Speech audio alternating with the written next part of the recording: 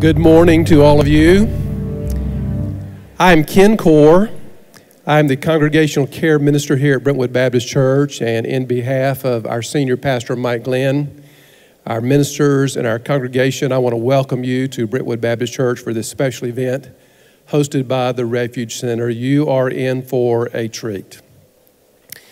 Brentwood Baptist is committed to mental, spiritual, and physical wellness. And this event today is simply another way of saying to our community, we want you to be all that God intends for you to be.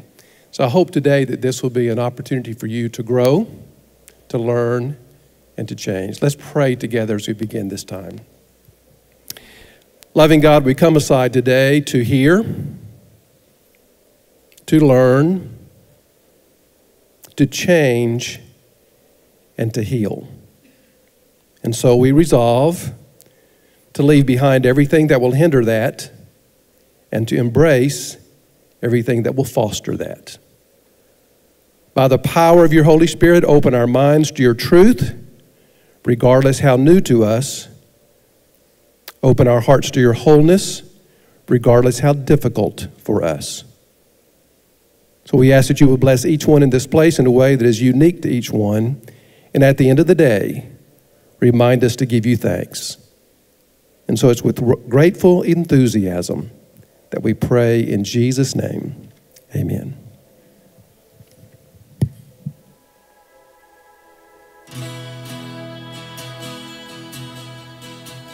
The Refuge Center began in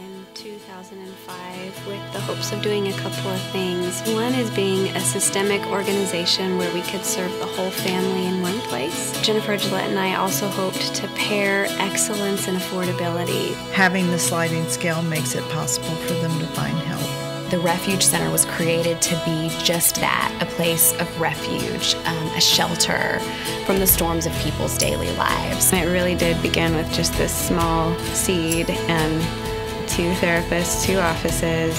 The Refuge Center grew a thousand percent in its first five years of operation, and we've grown 15 to 50 percent every year since. Refuge anticipates seeing 3,000 clients this year, and just think about the impact of that many changed lives in our community. The need is definitely so great, not just in Williamson County, but from all the counties. We have a waiting list. We have people who, who need our services, who are hearing about us and want to get in. And we are just really needing more people to come along to work beside us to help in um, closing that gap financially. Mental health issues are often overlooked and um, stigmatized. And I think by helping the Refuge Center, you're also helping us to kind of get over that hurdle. I am at the Refuge Center because I absolutely love being here. I love our mission. Really, Amy and Jen, when they founded Refuge Center, was built around this idea that everyone matters and that everyone needs access to not just services, but excellent services. Oh, the Refuge Center is such a powerful influence uh, in the community and the, in the healing and the, and, and, the gift that it brings in its ministry to, to help people in many walks of life and many different types of, of issues. We need to consider the great amount of courage that it takes. We want them to feel like they have been thought of in advance, that things have been prepared for them. We serve uh, a number of presenting issues, including domestic violence, trauma, sexual abuse, grief and loss addictions, relational challenges, anxiety, depression, PTSD, the list goes on. Play therapy is just an opportunity for um, younger kids who don't have the verbal ability quite yet. Recently started using neurofeedback here, um, also called EEG biofeedback, so be able to bring it here and be able to have that accessible on a sliding fee scale is um, something I haven't really heard of in any other place. So I'm pretty excited to be a part of that. The Refuge Center for Counseling means quality care in a Christ centered environment that is meeting the needs of our community. Everybody is totally 100% committed, every one of our therapists, our staff, the board, to making sure that we do our jobs to the best of our abilities. There is a structure that is built in and a culture that is built in, and I found myself as I joined the board, uh, falling more and more in love with Refuge with each meeting. They care about the clients and what's going on in the community. And I just think it's a wonderful place. I just love this idea that, again, no matter who you are or what you can pay, our dream is for you. The person who can pay $19 deserves access to a place that's one of a kind. As therapists, we witness miracles all the time. People heal from things that they thought would haunt them the rest of their lives. Hope grows at the Refuge Center because other people believe in us and support the mission. Because of the staff that's constantly being developed. It provides an opportunity to process, to heal. It's hope. It's providing opportunities for individuals that otherwise don't know what to do. Get the word out and let people know what's happening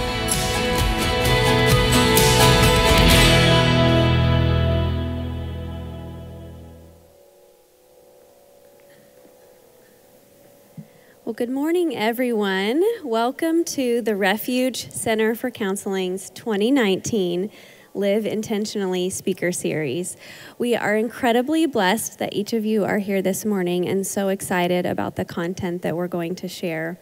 So, I want to start off by thanking our generous sponsors who made this event possible. That includes True Value Hardware, who provided the centerpieces this morning, as well as sponsored the event the treatment placement specialists of Acadia Healthcare, Pinnacle Financial Partners, Beacon Capital Management, Don Garcia, attorney at law, TriStar Stonecrest Medical Center, the Bound Brook Advisors, LBMC Employment Partners, and of course, Brentwood Baptist for sharing their beautiful space. So it is our deepest hope that this conference will be a blessing to each of you. We intentionally designed the format to engage you as a whole person, so body, heart, and mind. So, a couple points to remember before we get started. Number one, this we are a counseling center, so of course you're going to hear this. Take care of yourself during this event. Um, that means stand if you need to, walk around if you need to, notice what your body needs. Um, feel free to get up and go get more snacks or drinks and then return to your seat. Number two is just um, engage on social media. So it's okay to have out your phone. We would love for you to tweet quotable moments. Um, use the hashtag live intentionally and follow us at the Refuge Center to stay engaged with us after this event. And so, before I introduce our keynote, I want to do a brief exercise. Sometimes, when my clients come in for the beginning of their session, I will ask them the question, How are you? three times. And the first time, I want them to answer from their head. The second time, I want them to answer from their heart. And the third time, from their gut. And it's so fascinating because many times they have three different responses to that question. Today, I'm going to ask you that question, except I'm going to ask, What do you need this morning? What do you need this morning? For any of you who practice yoga, you know that sometimes when you get on the mat, your instructor will say, Arrive on your mat. And what does that mean? It means be present, come to this moment. And then you'll set an intention for your practice, and that intention guides the entire hour. So that's what we're doing. There'll be so much information presented this morning, so much to glean from. But if you know what you need, then your mind, heart, and body will be looking for that this morning. And you're likely to leave more fulfilled. So, the question is, what do I need from this morning? So, just go ahead and close your eyes with me if you feel comfortable. If not, you may look at the ground. Um, so check in with your head first. What does your head say that you need this morning?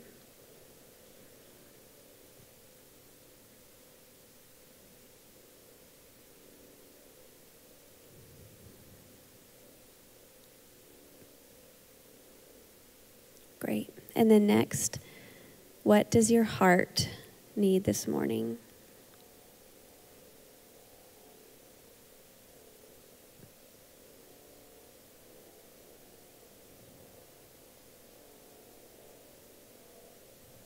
Good. And finally, go to your gut, your instinctual center. What does your gut say it needs?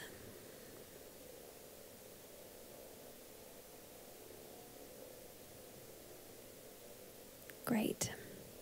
So you may take a moment and write that down just so that you can, again, be scanning the conference in a way that your needs will be met.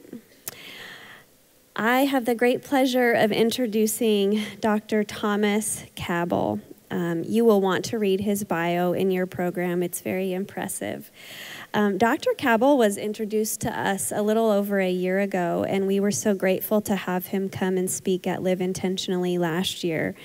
The response to the material he presented was completely overwhelming. There was a line of people about out the door asking him for his notes and PowerPoint and how could they reach him and how could they see him as uh, their physician. And so we knew that the demand was high for him to come back and share more this year. Um, really, the information he's sharing this morning is so critical for such a time as this. Thomas now serves on our board of directors at the Refuge Center for Counseling, and I am so pleased to introduce him. So, join me in welcoming Thomas.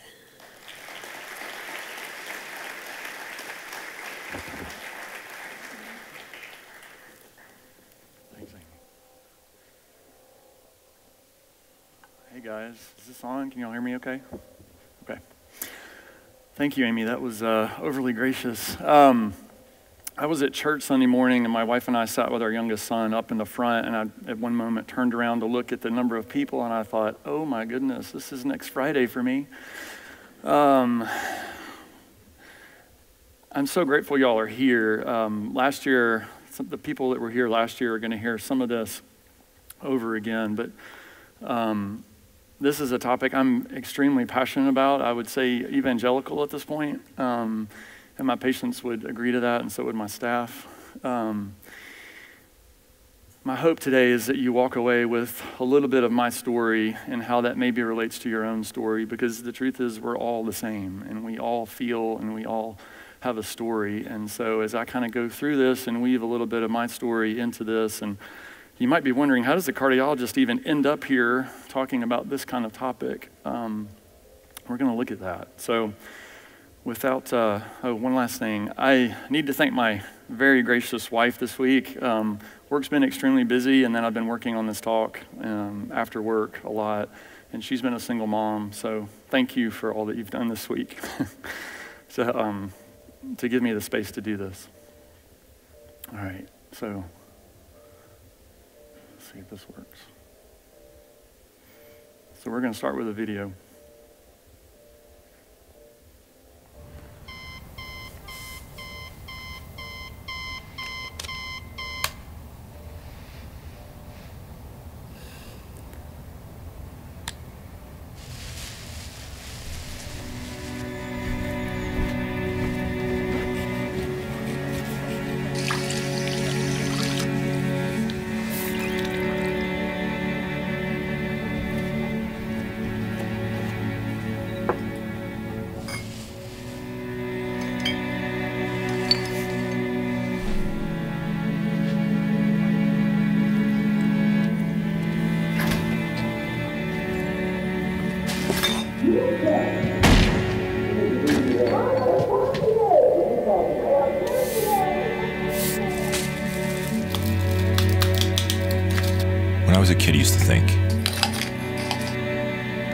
If I could just up, if I could just get through,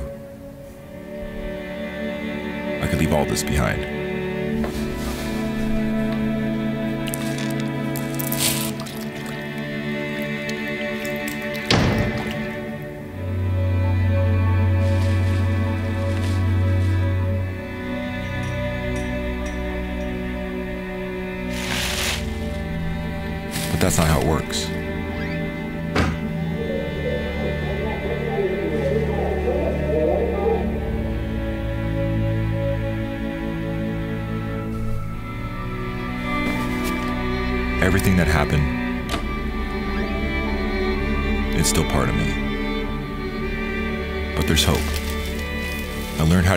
Toxic stress and make sure the cycle ends with me. Learn more about toxic stress and how you can stop it at stresshealth.org. All right, so that video actually appeared on a USA Today article back in, I think, September, October of last year. And it was talking all about how toxic stress in childhood affects us as adults and actually affects our generations after us. We're going to talk a little bit about that today, but I came across that video, and it's a very powerful video about what we're going to talk about today because the truth is, we all carry stuff. Even if we come from a perfect childhood, we had to leave it. And so we have grief there that we have to grieve. And so that's why I really love this quote the past is never dead. Like we carry that with us, and it affects us in ways that consciously we're not even aware of. So this is just my story. Um, so I've got a little uh, leeway here. And I've thought about how I would tell this story probably 50 times in the last three months or so. Um, and I think what I just want to impart to you is um, it's a story of redemption, it's a story of grace, and um, it's a story of love, God's love for me and for those around me. Um, four years ago, I was grateful enough to have the opportunity to go to a leadership intensive that was a week long. It was actually four years ago this April. And uh, I had started reading this book by uh, a mentor of mine now, Chip Dodd, who wrote Voice of the Heart. And that book had spoken to me in a way that I, I just couldn't have even fathomed before. And I went to this leadership intensive that was kind of related to some of his work. And it was in that week that I, uh, I read for the first time. Many of you may know the laundry list from ACA. I'm not talking about like the Academy of American College of Academics, but the Adult Children Alcoholics and Dysfunctional Families. And there's 14 points on that laundry list. And the first time I read it, I was like, okay, I got maybe 13 of these. Um, I don't have all of them. And um, it was in that week that I learned about toxic shame. And I remember thinking, oh my gosh, like back the truck up. Like I carry tons of this. And I also remembered this one phrase that stuck with me and really generated a lot of, I think, healthy anger to change. And it was, and this was a group of men. There were five other men, and one I knew, the others I didn't, had never met before. And it was what the father doesn't process, the children will carry. And that really caught me, like, at that time, um, we had four children. They're 12, 10, 8, and 6, and you'll see them in a minute. Um, but I was bound and determined that my past was not going to be repeated. And what I realized was I was totally repeating my past. Everything that I had tried not to be, I was. And I learned that that oppositional energy to try to be different from what I had experienced as a child just made me the same. And in order to be different, I had to heal. And so, in the process of coming out of that week, um, for the umpteenth time, I started therapy. Um, I initially started therapy when I was in the third grade and saw therapists through junior high and high school. Um, I went through a lot of suicidality. I had a lot of um, anger issues. And it wasn't until I met a man named David Tyner um, who really changed my world. And David is my connection to refuge, and I'll talk about that in a minute. Um, so I finished the intensive. They recommended we started seeing David Tyner, my wife and I. We did. And David basically kind of just started stripping away all of these issues. And, you know, he, he was, I remember the day we were sitting there and he was like, he was like, Thomas, you know what your addiction is, right? And I was like, what addiction? What are you talking about? And uh, I looked at him after he said it and I was like, damn, you're right. And then about a month later, I was in there and he said, Thomas, you realize you have PTSD, right? And I was like, no, I do. yeah, you're right. And it was just like this series of things that I had not been able to name. And when you can't name it, you can't tame it. You can't do anything with it. And it went long after that, about nine months later, um, that as a family we made the decision that I would actually go away and do some work. And I did. I had to leave my wife and kids and go do some trauma work. And it was through that that I started to develop this interest in all this stuff. And after coming out of that process and going through all of it, as I started back to work and started to kind of see patients, I started to see my story in all these patients and the things I had experienced physically and those things. And probably nine, ten, a year, 10 months, a year later, at one point, I had been basically referring people that I was seeing in a cardiology clinic. I'd be like, okay, well, I hear your story and your symptoms, and we've checked everything from a heart standpoint. Everything checks out, but something's not right. And here's what I think could be going on. And so I started to basically refer people out to therapy. Um, and it was working. And so at one point I called David and um, I said, hey, like, do I need to start a foundation? Like, all these people, they can't seem to be able to afford good therapists, and they need this work. This stuff is everywhere. It's every day in my clinic. I see people affected by drug, ad- drug addiction and alcoholism and trauma and other things, and they really don't even know that that's what's affecting them. And that's why I'm giving this talk, is to just give you a framework and a background of maybe it's something else that I'm not considering. So if there's an aunt or a cousin or a niece or a nephew that's struggling in something, we're going to talk about some of those things. And so he said, Hey, I think you need to reach out to Amy because David and Amy were in school together. And so that led to this conversation and ultimately led to me meeting with Amy and then doing the talk last year and then joining the board of the refuge. And now I get to refer people uh, a lot more often. Um, I'm really grateful for the refuge in so many ways. I think my life's arc and my story has intersected at a time that I could never have imagined if you had told me five years ago that I would be up here giving a talk about things like this. I would have thought you were crazy. Um, and it all comes back to this, this love, and I'm going to talk about it later, but one of David's real gifts is his ability to weave scripture into therapy. And at one point, I can remember very vividly, I'll never forget this part of my story. We were sitting in the office, and it was early on and going through a lot of things and uncovering a lot of stuff. And he looked at me and he was like, What are you feeling right now? And I, I couldn't help but say, David, I feel like I'm being punished twice. I said, I know that my childhood and everything I experienced was not my fault. I'd seen Good Will Hunting and I had just bawled at that movie. But I also knew that everything that I was as a result of that, I was like this F5 tornado to my wife, to my kids, to my colleagues at work. And I couldn't fix it. Like, I couldn't stop it. I couldn't change it as bad as I wanted to. I couldn't make those things go away. And he looked at me. I'll never forget he said this. He said, Exodus 20, Exodus 34, Numbers, Deuteronomy, God says, I pass the sins of the father to the children, to the third and fourth generation. He said, I'm going to change that word, punish, and I'm going to tell you that God is pursuing you. God passes the sins to the third and fourth generation, but he pursues the children in those sins.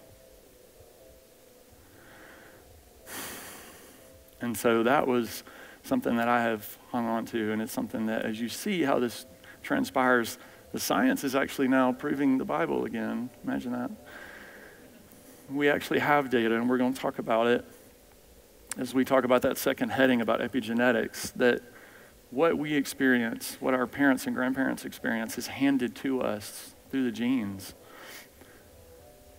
And that's why there's so much what we call legacy burden out there. There's so many people who who are not even they're not even realizing how they're affected by something that happened to their great grandmother. And yet they may be triggered, they may carry anxiety or depression that's not really their own. So that's our path today. We're going to talk about trauma and ACE scores. And no, this is not Vegas. Um, this is a quote I love. A lot of uh, my mentor in cardiology training had this on his wall. Um, we're going to talk about a different heart. We're not talking about the heart today. We're talking about your real emotional heart. What scientists call the limbic center. And the limbic center of our brain is our midbrain, and it's where our emotions are seated. And this is where everything comes from. You always have an emotion before a thought, and everything you experience comes through and is filtered through the limbic system. So it's the area of the brain that regulates emotion and memory. It affects all our visceral responses, our stress response, motivations, moods, sensations. And here's the key it's achronologic. So, the example I use in the hospital when I see patients who I clearly experience PTSD with them. So, as an aside, as somebody who has PTSD, you typically have a higher what's called limbic resonance. We resonate at 17, 18, 19 hertz. Normal brainwave functions around 10 to 12. So, when I walk in a room, a lot of times I immediately can sense, wow, this person's got trauma and they may not even know it. And so I can talk to them in a way now that five years ago I had no awareness to. And so the example I use is if I'm standing on a street corner at age 12 or 13 and a drive by shooting happens and my friend is killed next to me, that memory is just as real in that part of my mind today as it would have been 20 or 30 years ago. And so, unless I've healed and done the work around that memory, I can't change the way my brain responds to it because the brain is doing what the brain does. Okay, we talk about PTSD as a disorder. It's not, it's just normal brain function. If my foot is taken off by a lion, I'm going to be hyper vigilant around lions. Like, right? My heart rate's going to go up. My, my eyes are going to dilate. My skin's becoming um, acidic.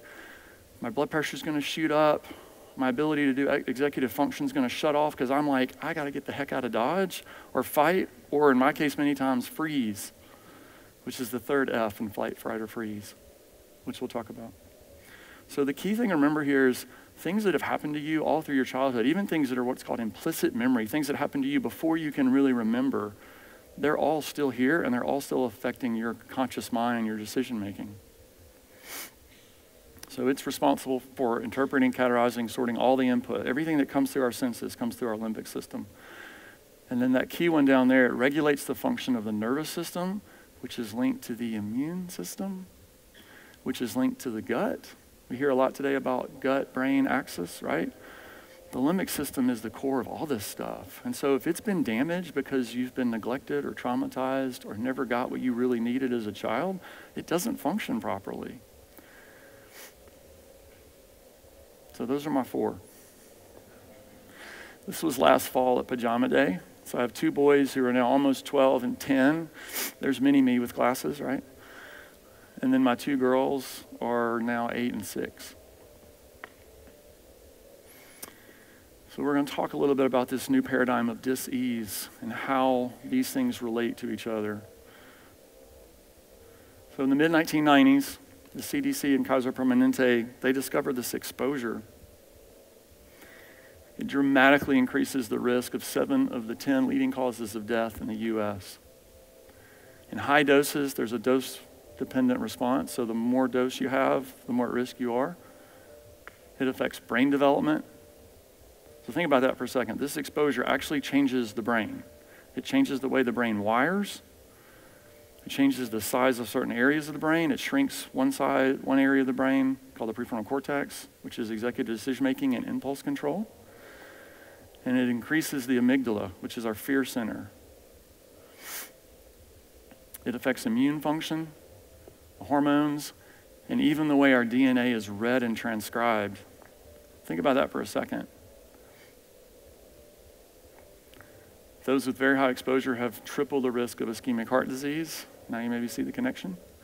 Lung cancer, irrespective of smoking status. And a 20 year difference in life expectancy. 20 years in a first world country. Think about that for a second. It's a 20 year difference. There is really no other disease or exposure that carries this kind of difference. So you guys get to cheat because you've already seen the title slide, right? It's childhood trauma, it's toxic stress. It's that first video we watched. So the ACE study, we're going to talk a lot about this. This was a huge study.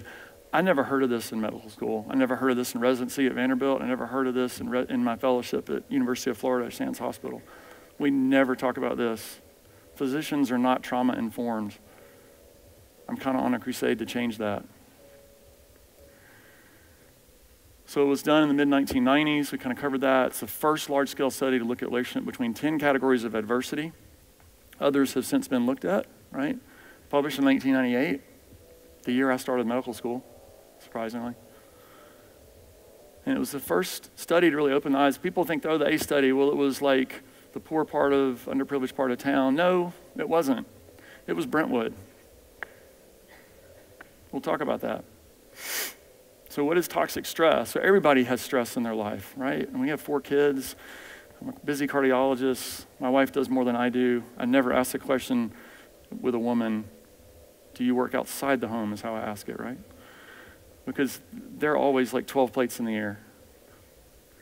And women, incidentally, I think more than anything, and Amy did a great job, like, we need y'all to practice self care.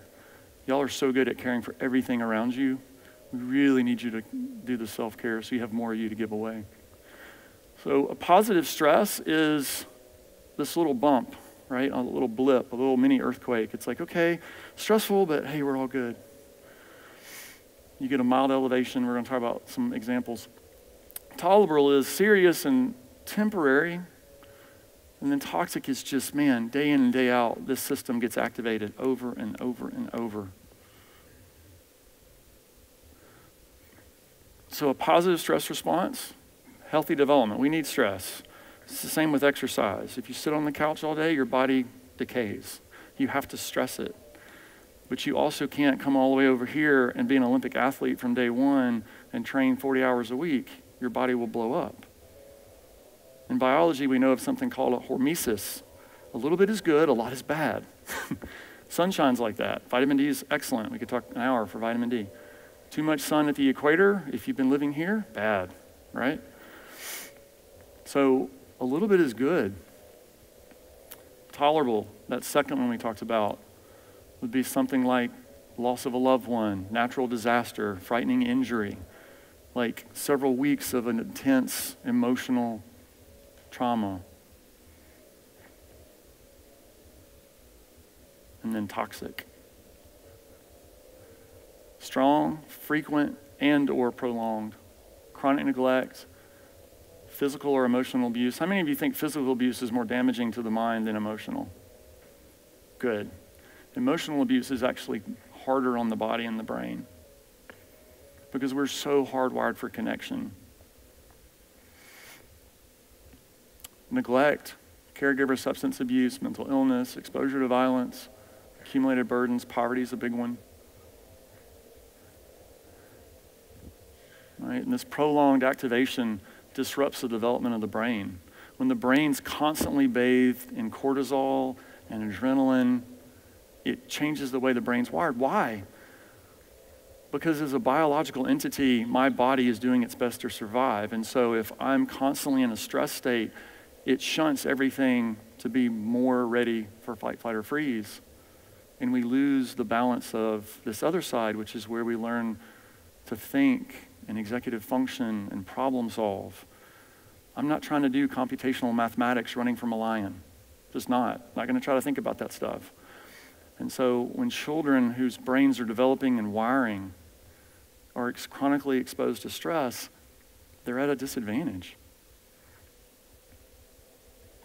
So everybody knows about this book. Actually brought it here, right? We're going on a bear hunt. My youngest daughter loves this book. Right? And this is a great, I thought this was just a beautiful example, right? Where you're going through the woods, you're going over it, and all that stuff, right? You're, you're hiking in Jackson Hole or Yellowstone and you come up on a bear. First thing that happens is, oh crap, right? Heart rate jumps up, blood pressure jumps up, eyes dilate, our skin actually becomes more acidic, so we taste worse we shunt, it's true, we shunt all the blood away from our gut and digestion. The muscles get engorged. Like we are ready, it's on. And that is a fantastic response if you're in the woods and there's a bear. But what if the bear comes home from work every day?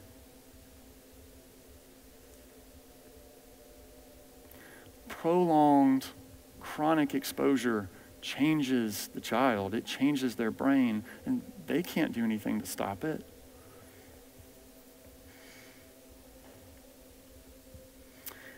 Donna Nakazawa's book, Childhood Disrupted, is actually a book I hand to patients, not the book itself, but the Amazon description.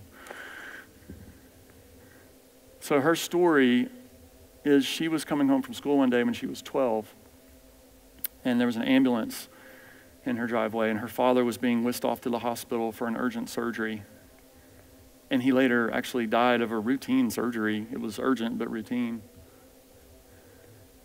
And for the next 30 some odd years, she suffered initially from headaches, dizziness, what we call presyncopal spells. She just get lightheaded and pass out. That led to seizures. And she eventually wound up in the hospital with something called Guillain Barre syndrome, which is an autoimmune disease that basically kills your nervous system, paralyzes you.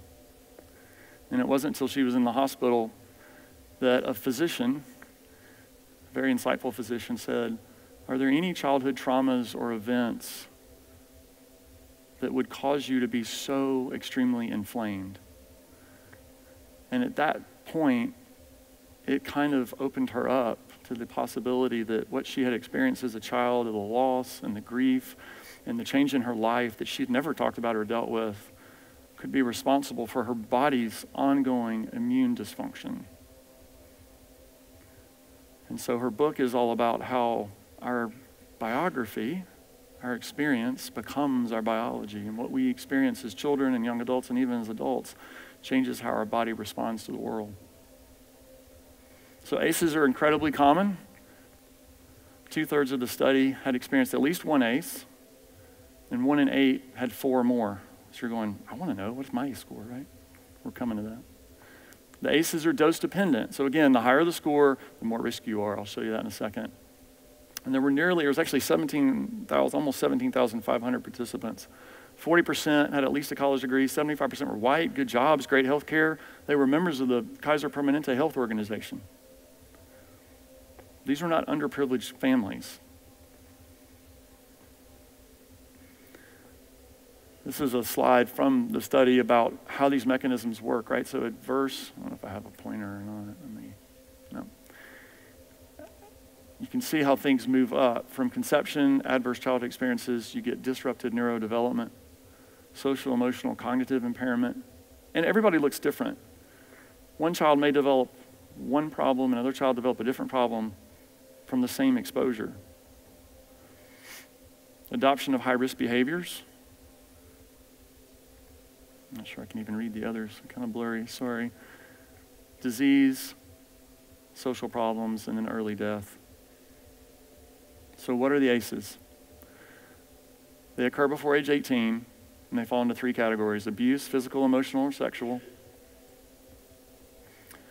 emotional or physical neglect, and these are the hardest to prove. It's so hard to prove a negative in somebody's life. It's so much easier for me to say, my dad or mom beat me or this happened or I can point to something because it means at least I was seen, at least they saw me. But if my parents or my caregivers were not to ever be present or weren't present to themselves, it's so hard to prove that to myself. It's like a hole in my development that I can't ever reach. And so neglect is a much, in my mind, a much harder trauma to deal with. And it's also another point I want to make trauma is not drama. We, can, we talk a lot about big T trauma and little t trauma. Household dysfunction, parental mental illness, so depression. And this is not, please don't hear this as to throw shame on anybody who's struggling with a mental illness and hear anything else. This is just a fact of how we develop. An incarcerated relative, mother treated violently, and not being raised by both biological parents. So just parental separation, or divorce.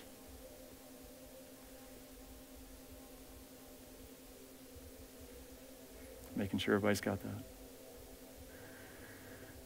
Frequent exposure to ACEs without buffering support of a caring adult can disregulate the child's response. Two out of three adults with one ACE, one in eight have four. I'm unfortunately in that group.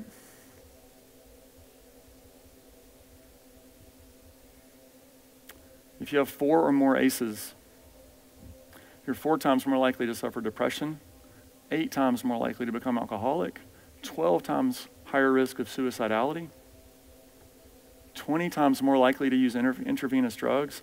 It's not the drugs, it's the ACE scores. We have an opioid crisis in this country. I'm, we're dealing with it in healthcare. You can't, the war on drugs doesn't work. We take people who have been traumatized and we shame them more. It doesn't work. And I'm just as guilty. For years, I said, why can't you just quit? Not realizing I'm an addict on my own. They need grace, they need love, they need support. We have to be willing to look at our own stuff, though, before we can actually help somebody else. Double the lifetime risk of heart disease and cancer.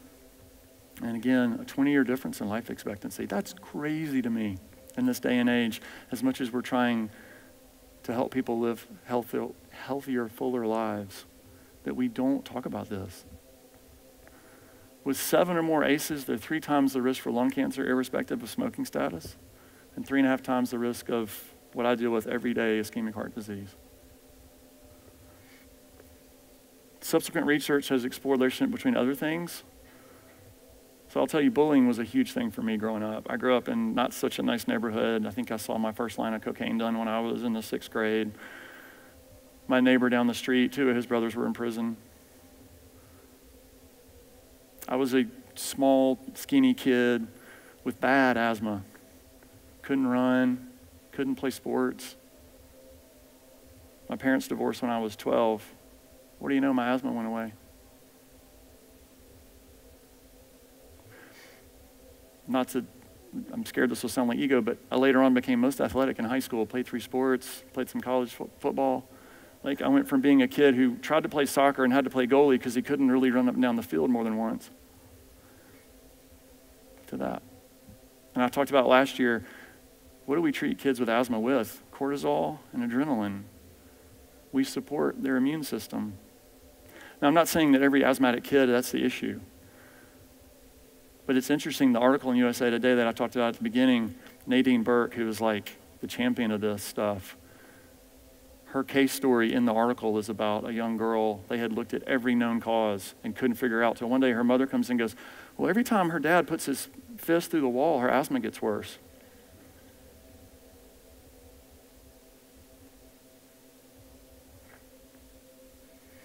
So Al Race is the deputy director of the Center for Developing Child at Harvard. I'm going to show you a video from them in a second.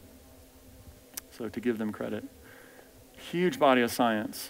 Huge body. I, in putting this talk together, I literally went from like 80, 90 slides down to this because I'm trying to like pull a symphony down to a piccolo.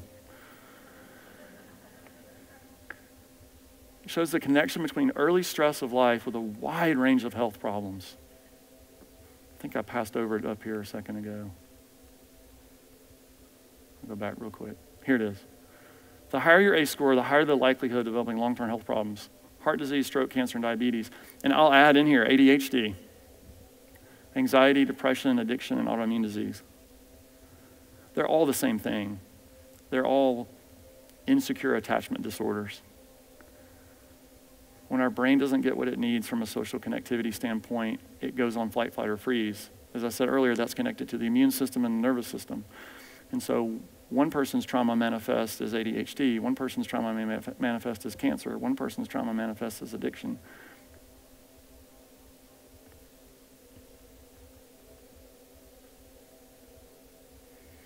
Now I have to sprint through these. Okay. So here's how, just a quick video of how toxic stress changes the body and the mind. They do a better job than I could. Oop. All right.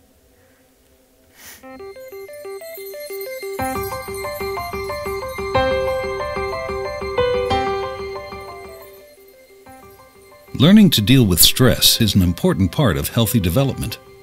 When experiencing stress, the stress response system is activated. The body and brain go on alert. There's an adrenaline rush, increased heart rate, and an increase in stress hormone levels. When the stress is relieved after a short time, or a young child receives support from caring adults, the stress response winds down and the body quickly returns to normal. In severe situations, such as ongoing abuse and neglect, where there is no caring adult to act as a buffer against the stress, the stress response stays activated. Even when there is no apparent physical harm, the extended absence of response from adults can activate the stress response system. Constant activation of the stress response overloads developing systems, with serious lifelong consequences for the child. This is known as toxic stress. Over time, this results in a stress response system set permanently on high alert. In the areas of the brain dedicated to learning and reasoning, the neural connections that comprise brain architecture are weaker and fewer in number. Science shows that the prolonged activation of stress hormones in early childhood can actually reduce neural connections in these important areas of the brain at just the time when they should be growing new ones. Toxic stress can be avoided if we ensure that the environments in which children grow and develop are nurturing, stable, and engaging.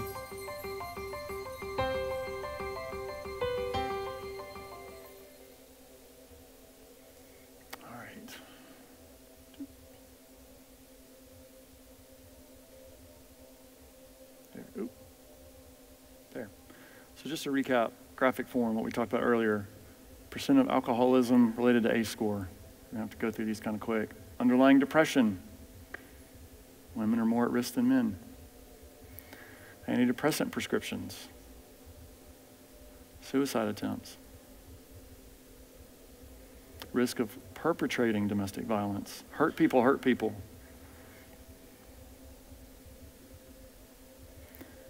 Impaired worker performance. This is the end of this section. Adverse childhood experiences are the single greatest unaddressed public health threat facing our nation today.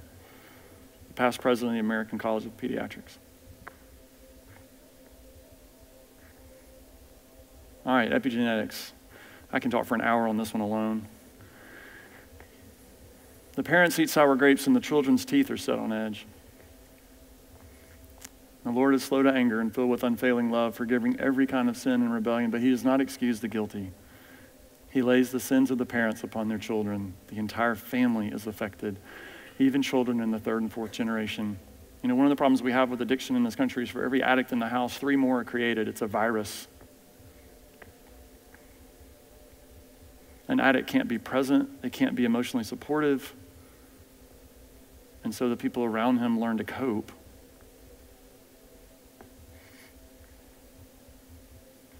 This is from the Center for the Developing Child. Just wanted you to see early experiences can alter gene expression and affect long term development. So, this is a fascinating topic that we are not really our genes, we're our experience and our parents' and grandparents' experience. So, the, this is how I discuss it with patients. So, Romeo and Juliet is your DNA, it's your genome, it's the script Shakespeare wrote you'll get a very different play between Edmondson Elementary fifth grade and Broadway, right? It's the production, the actors, the directors, all that stuff. That's epigenetic. That is all the things that go into what turns on and off your genes. Stress turns on and off genes, it shuts down some and increases others. There are books now on the consequences of loneliness from a medical standpoint. And so, it's estimated by the CDC that probably only 15 to 20% of our genes are responsible for our disease. It's not, well, my dad had this, so I'm going to have it too. Well, your dad had it and you grew up in that household, so you have the same microbiome, you have the same way of dealing with stress that you learned that was taught you by the time you were seven. Our brains, until the time we're seven, are basically on a hypnotic state, they're in delta state. And so everything we see and witness up until age seven basically becomes our programming, our subroutine. And that's more about what causes perpetual, in my case, cardiac disease in patients. Mom, dad, brother, sister, everybody's got the same stuff. Well, you all come from the same family. And so it's not just the genes. They play a part. I'm not saying they're not important. But we have a lot more control than we realize. It's not just your exposure and your life experience. It's your parents, your grandparents, and in some cases, even your great grandparents. And we've seen this. There's something called the Dutch famine study that's one of the most amazing studies about this, back from the 1940s, where there was a, I can't remember now, roughly 30, 20, 30,000 people who were cut off by the Nazis and experienced like a 10 or 11 month famine. And the studies of those children, so there were women who were pregnant at that time, and they've actually broken it down into women who were in their last trimester and women in their first trimester. And the children of those women in different groups had different responses. And their children's children have different issues. Some struggle with obesity, some don't. And it all has to do with if you're in utero and your mother's experiencing a famine, it increases her stress hormones. And those children come out and they have craving for food and carbohydrates and other things that other people don't. Because they're like, they're coming out of the womb like, game on, I got to find food because there wasn't any. And that happens through something we call methylation. Mark Wolynn wrote a book called It Didn't Start With You, is another one I give out to patients. This book's amazing. If you're half a science geek, you'll love it. I literally could have like just read the book to you and would have been a great talk. And he talks about Rachel Yehuda, who's a researcher. Oh, where'd it go? Did I move it around? I did. So, Rachel Yehuda is probably the top researcher in this area of trans family, transgenerational PTSD. And she was one of the first to show that trauma is actually passed on. And so, what I tell my patients, I, I routinely see people in their 20s and 30s and they're struggling with massive anxiety, and there seems to be nothing really in their history that would suggest that they're carrying some big trauma or issue that they themselves experienced. But then you start asking, well, does your mom? Yes, my mom has horrible anxiety, and her mother, and okay, well, here's how this works. Um, and what happens is, think about this for a second. The egg that became you, a little creepy, but the egg that became you was actually in your grandmother at one point. Because when your mother was formed as a fetus, she produces all the eggs she'll ever have. And so those experiences that your grandmother and then your mother experience are actually transmitted because the eggs are bathed in the hormones, and that changes the DNA. It causes something called methylation. So it either locks in a gene and says you're not going to turn on, or it locks in a gene and says you are going to turn on. Now we know today that we actually have some control over undoing that, but it takes work. And that goes back to this. For years, when I grew up in school, and most of you probably too, we thought 98% of DNA was junk. We didn't have any idea what it did. We're like, okay, it doesn't code for hair color, eye color, height, weight, all those things that we think about when we think about DNA. Uh huh. But there's something called non coding DNA. And what we're realizing now is instead of being junk, that's actually the stuff that passes on kind of this collective family consciousness. It codes for a lot of our emotional, behavioral, personality traits that we inherit. And interestingly, the more complexity the organism, the higher the complexity, the more non coding DNA we have. And it's affected. It's affected by toxins. This is where I say there's like 280 different chemicals now in women's breast milk in this country. It's affected by inadequate nutrition. Like one in five children go hungry in this country, and stressful emotions. And usually, the children that are in the stressful environments are probably getting more exposure to toxins and more inadequate nutrition.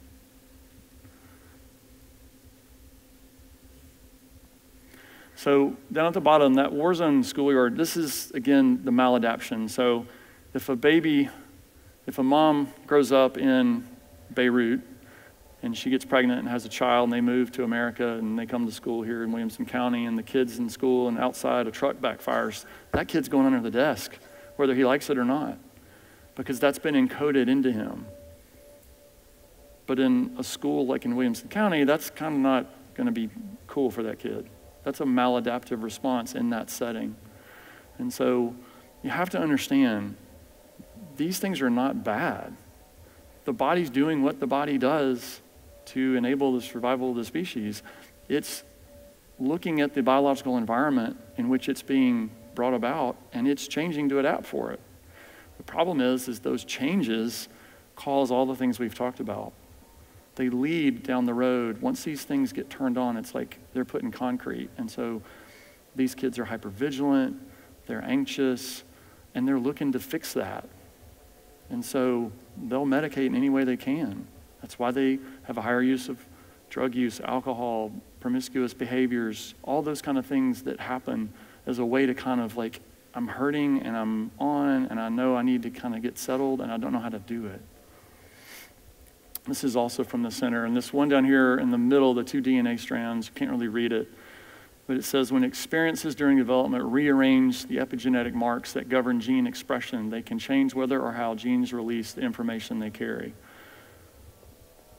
So, for instance, we may all carry a gene that causes cancer, but until the right context of environment and stress and other things turn on, that gene lays dormant. It doesn't get activated. But if our life experience is such, between environmental exposures and emotional behavior and all those kind of things, it can turn those genes on.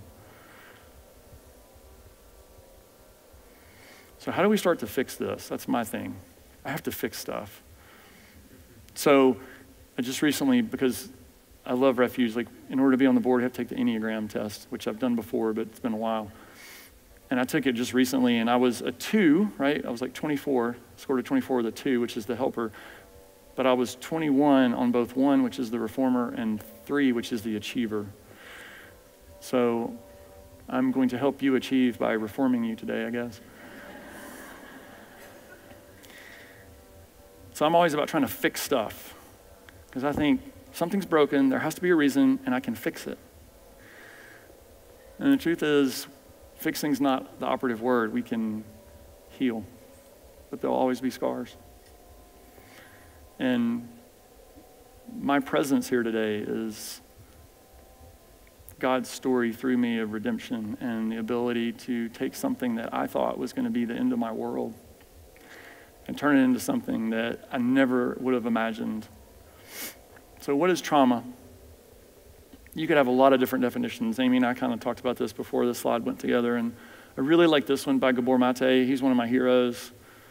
So, in this guy's world, he's one of the leading trauma addiction guys in, in the world. In his world, everybody with an autoimmune disease, cancer, heart disease, it's all trauma related. Not sure I agree to that extent, but that's his world. But his point is the point. When we're traumatized, we dissociate. And it's getting back to ourselves, which is our whole journey in life. We all, in some way, leave who we really are in order to survive in the family that we were raised in. And that's trauma whether we tell the truth about it or not.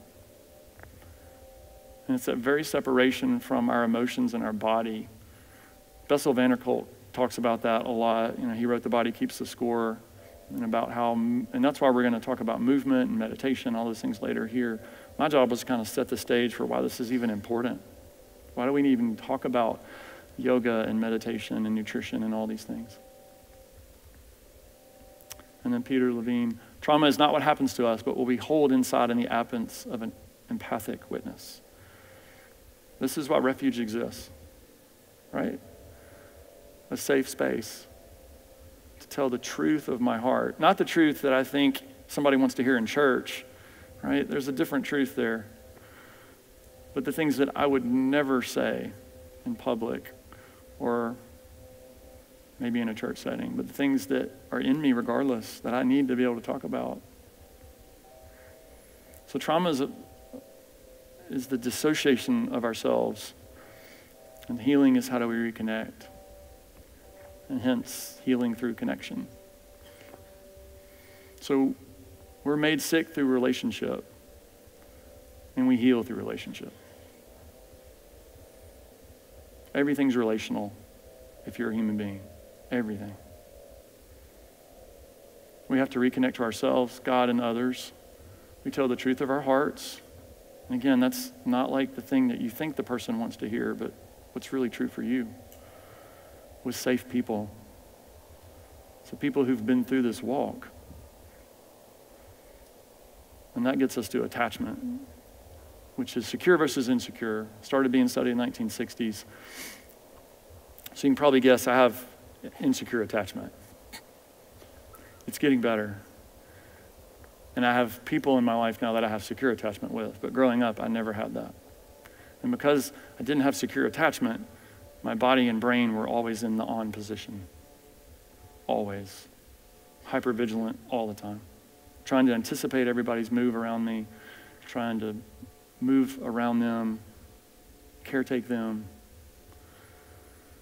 we talk about the four S's with attachment seen, safe, secure, soothed.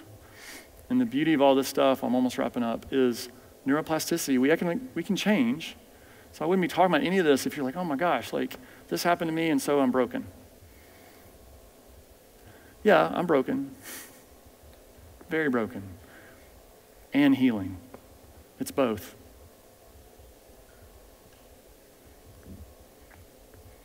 So Dan Allender at the uh, Seattle School of Counseling and Psychology. Love him, love his stuff. He talks about the four requirements for secure attachment. We're almost done. It's my next to last slide, I think. So if you want to take a picture, this is the one you want to take home. So, attunement is the ability to delight in another human being. My wife does this so well with our children, it's amazing to watch.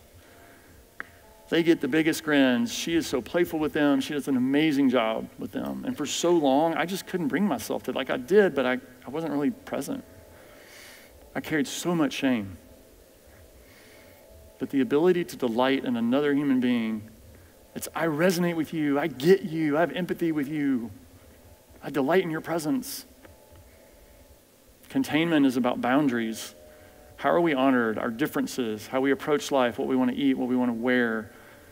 It's not like, hey, carte blanche, do whatever you want. And it's not like, eh, you're going to do exactly what I say all the time. It's, hey, like, I respect it. You're this way and you're this way. And man, that's why we have children, right? Children raise us up. They're there to show us that we grew up with only one eye open. We have half the software we need to live a full life. And our children show us where all our wounds are. Mine do, anyway. Repair is the ability to have humility to say, I messed up, I'm sorry, without the but. Man, I used to do that all the time. I'm sorry, but if you had just done this, I wouldn't have had to do this. Oh my goodness. That's a kid, right? Adult child. And consistency. And this is this is crazy to me. It tells me a lot about my childhood, but all the parent has to be 50%. You get 50% of this and you're golden. We are so resistant to harm. And so, what that says is when you see somebody who is struggling with something like I talked about earlier, you have to realize that those who have insecure attachment had a significant amount of neglect, trauma, abuse. They wouldn't be that way. And then, last slide. So, the studies are showing that this can be changed. We can heal. We can do the things that we need to do in order to be whole again to get back in touch with who we really are before everything changed. It's play, acceptance. Gosh, do I have to work on that one a lot. Curiosity about ourselves and others, and empathy. So that's it. Uh, where's my next slide? There it is. So if you have an interest, these are four books that I would definitely look at reading. They're all great for different reasons. And I give a lot of these out to patients. You're like, you're a cardiologist, you're supposed to prescribe me a blood pressure medicine and a cholesterol pill. I am. And we have to look at these other things too. Because it's not just this, but if we don't have the eyes to see and the ears to hear, we'll miss it. And it's so important that we treat the heart, the mind, and the body because they're inseparable. You cannot talk about mind body connection. There is no such thing, they are the same. The brain, the mind, the body, any of you who have dealt with trauma, you know you can store things in your body. Like this thing's nagging at me. Well, it's not anything physical, it's actually where you store this memory. So, all right. I'm going to walk off and think, gosh, there's 20 things I wish I talked about.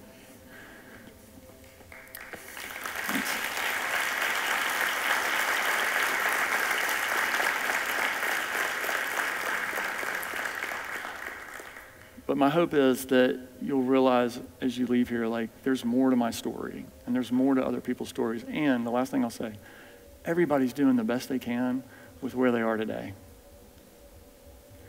And that's grace. Thanks. Thanks, Amy.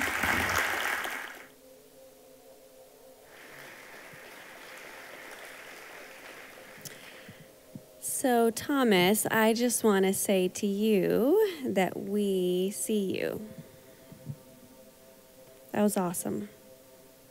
And it took a lot of courage to come up here and do that. And um, God has a lot in store for you with what you have to share. So, I want to welcome Sandra Hatcher up to the stage. Sandra is our board treasurer, and she has a couple of things she'd like to share with you before our next speaker. I'll give you the podium. Okay, thank you. Thank you. Good morning. Continuing with our theme today, I'd like to share a little bit about my connection to the Refuge Center for Counseling and then ask you to consider starting or deepening your connection. In early 2006, I traveled from Southern California to Nashville to visit my son, daughter in law, and my three adorable granddaughters. A job transfer had brought them here from Miami, and they were still in the process of moving, so it was just to be a visit. But something happened, a strange attraction to this bewitching southern town, and did I say my three adorable granddaughters were here. And before I knew it, I was moving to Nashville. I was very thankful for the proximity to family because I was also in the process of working through some very serious life issues at that time. It was a time of transitions, changes, but also sorting lies from truth in my mind, of healing from an extended period of stress on my body, and allowing God to calm and renew my spirit. You could say that at that period in my life, I was out of alignment and I was taking a holistic approach to intentionally restoring integrity and congruency to my mind, my body, and my heart. I really like those words alignment, holistic, intentional, integrity, congruent. Those are words that are also deeply embedded in refuge culture. So when I was introduced to the Refuge Center, there was a natural attraction right away to the mission and the work. I've watched the values of refuge being lived out. I've enjoyed personal relationships with some of the therapists and the staff. I've supported fundraising, and I've shared the refuge story with just about anybody who will listen. In my professional life, I spent over 25 years as a financial planner. So, financial congruency and financial integrity have long been key issues for me. So, being asked to serve on the board and then as treasurer of Refuge was both a blessing and an honor because it allowed me to contribute in my areas of passion and belief. It's my pleasure today to ask you to consider four ways that you can make a connection to mission, to the mission of refuge, and ways that would be congruent with your passions and your beliefs. Number one, you could make a virtual connection. Just go to our website, You'll find ways to volunteer, to hear stories of hope and healing from some of our clients. You can stay updated on activities and events and follow us on social media and learn other ways that you can get connected. Two, you can make a physical connection. Be our guest. On the first three Tuesdays of every month from 12 to 1, we offer what we call a connections lunch. It's an opportunity for you to tour the facility, meet some of our therapists and staff, learn more about our programs and services, and for us to get to know you too over a meal. We would love to have you do that. Go to the website again and register for one of our connections lunches. Three, make a financial connection. Because we believe that everyone, regardless of economics and income, should have access to high quality counseling, we offer our services on a sliding scale. 91% of refuge clients receive this sliding scale benefit. In 2018, the average fee per session was $53. It cost Refuge $81 to provide counseling services. That leaves a gap of nearly $30 per session. Will you consider standing in the gap? Please join our incredible group of donors who help us reach our annual budget and also provide opportunities for outreach programs like this. And for those of you who did make a donation when you registered today, thank you so very much. If you would consider becoming an ongoing supporter or making a one time donation to Refuge, you may text the amount, go to our website, or if you're old school like me, reach in your purse or pocket, pull out that checkbook or some cash, put it in an envelope that's on the table, and leave it in the donation box that's at the table as you go out. Fourth, you could make a personal connection. If there's someone who comes to your mind today, someone who was not here, and you think that they could benefit from what you're hearing, why don't you call them, text them, send a note, or at least pray for them? Make a personal connection. We all need that, sometimes giving one and sometimes receiving. Thank you.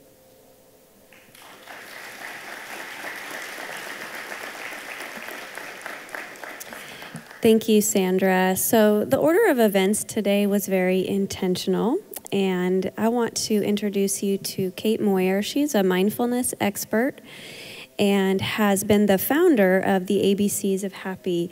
And so we've been in our head a lot this morning. We've learned a lot, a lot of details and facts, and now we're going to sink down into our bodies a little bit and do some of our own healing work. So, Kate, welcome.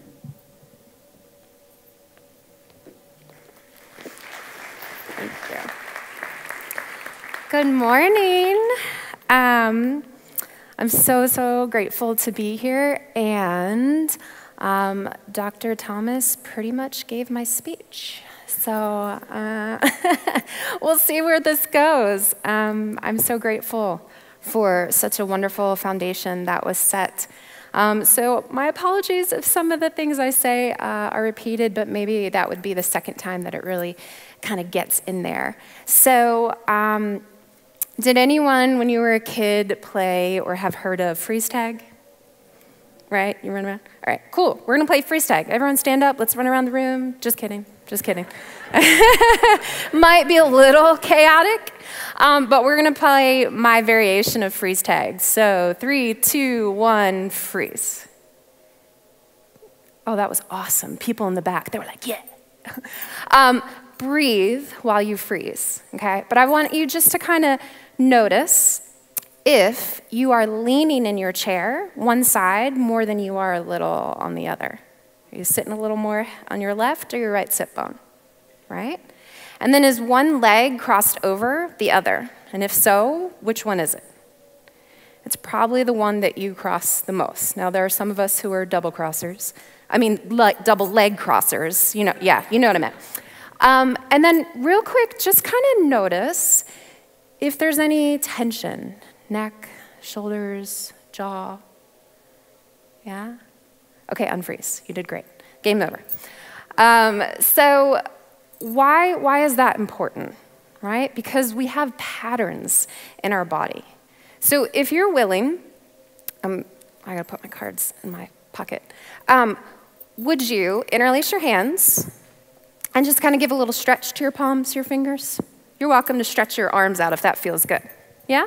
Ah, nice. Okay, cool. Keep the interlace, bring it in, and look down.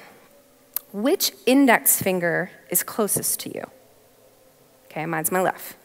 So undo the fingers, redo them with the opposite index finger closest to you. I know, I'm really making you think. This is like a mind game, right? Does, does that make sense? Already it's weird, right? People are like, why? What, what is this? Okay, press. Doesn't that feel weird? Right? Why? Doesn't it feel tight, maybe? Like, this is like, oh, okay, that's normal. The, the other way is, okay, great. You guys are doing amazing. Okay, so that right there proves we have unconscious patterns in the body. Like when, when I said interlace your hands, you didn't think about it. Bam. Right? But what happens is, and that's a simple one, right? So you do that over and over and over and over, and what happens is one side of the palm, one side of the hand is stretched more than the other. Right? So, these unconscious patterns in the body, what happens is wear and tear over time, there starts to be a breakdown. So let me give you one of mine. Um, until I went through yoga therapy program uh, training, I didn't know I was a knee locker. Um, no one called me a knee locker. That's not like a bad, you know, you're a knee locker.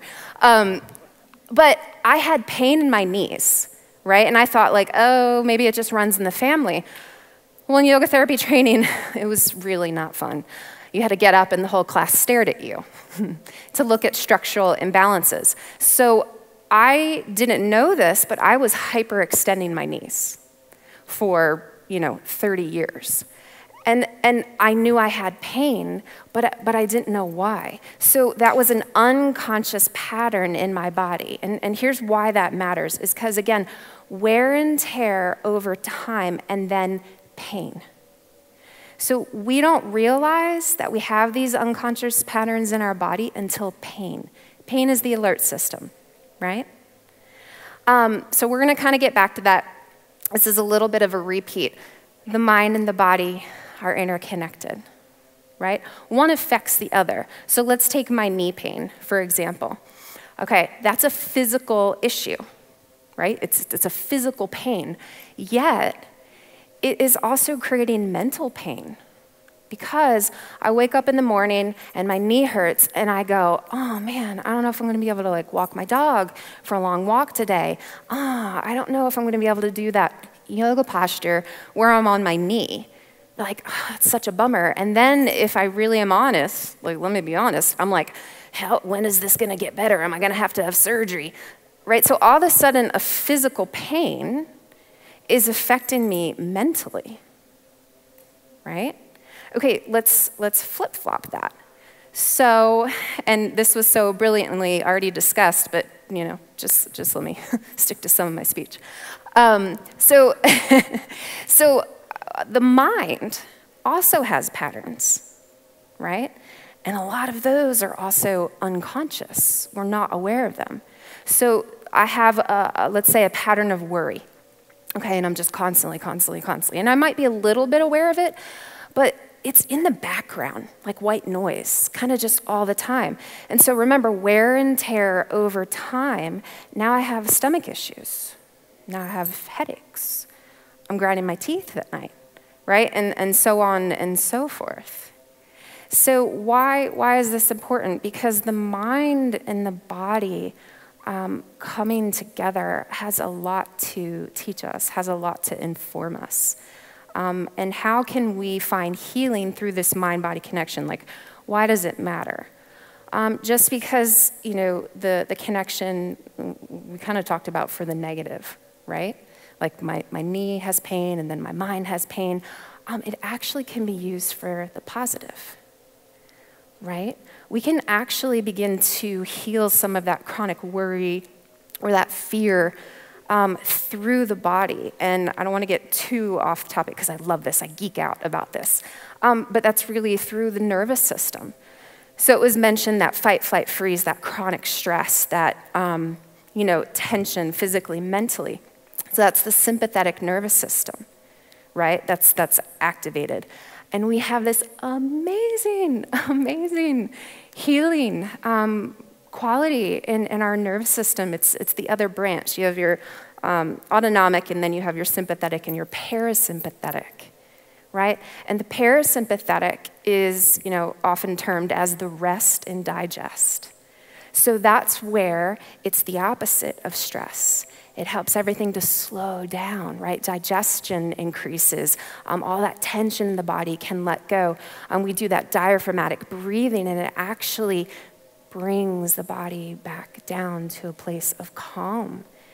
And when we're calm, um, it feels really great, right? There's not so much stress on the organs and the tissues, and there's so many different effects.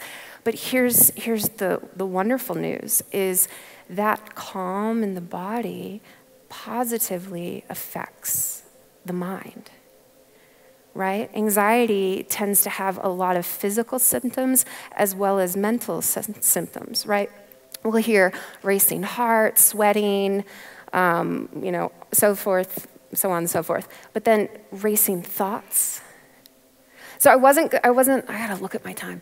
I wasn't gonna talk about this, but this is one of my, my favorite things, and I'm, I'm so hoping I get my information correct. So Dan Siegel is um, so amazing. He's a psychologist, and he came up with this um, little model. And I talk about this and teach this over and over and over because I think this is just so powerful. So he, he calls it the hand model. So he says, This is the brainstem, okay? And then this is the limbic system, which Dr. Thomas was talking about. And then this, okay, is the prefrontal cortex, which was also mentioned. So that is, you know, the ability to um, have perspective, to make a decision, which when we're stressed, right, when we're in that emotional regulation place, that doesn't go well, right? And yet we still try to do it.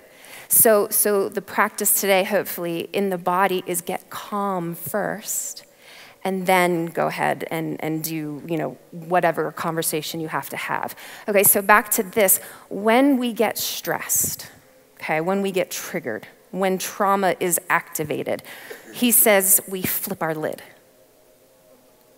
really, which I think is so genius. But basically, the limbic system is in charge. And again, that's all that emotion, and we're freaking out, and we might say some things we don't really mean. That's where, you know, um, violence comes from, because we're just very reactive. So, what does that have to do with yoga? What does that have to do with the body? Is again, if your lid is flipped, you can't make that higher functioning decision making of the brain. So, how do, how do you unflip it? You have to calm the nervous system right? You have to kind of use the body, use that diaphragmatic breathing, get back to a calm place, and then that higher function of the brain comes back on. So, if you're willing, would you do just a little, because we only have a, a, little bit of time, would you do a practice with me just to kind of check that out? So, um, like Amy mentioned, you do whatever is most comfortable for you and your body. But I thought instead of me talking about this, we could hopefully experience it a little. Yeah? Woo! Yeah! Thank you. That was more for me. Um, okay, so if you're willing, you can close your eyes and just kind of really sit in your chair. You're like, duh, I am sitting in my chair. like, let yourself like your seat get a little heavier, let your spine kind of lean back. And then just take a nice easy breath in, an easy breath out. Okay. Then just kind of check in the level of stress in your physical body, right?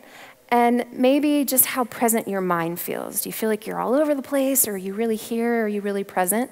And we're not going to share this out loud with anyone, so don't get nervous. So, on a scale from one to 10, with one, I feel very relaxed, I feel very present. And 10, I feel really, really tense, right? There's a lot of physical tension. I feel very distracted. Real quick, just where would you put yourself on that scale? Just quietly to yourself. Okay, one, I'm really chill, calm, relaxed. 10, I feel really stressed. Awesome. So you can open your eyes and want you to take just a nice easy breath in. And as you exhale, let your head turn to the left.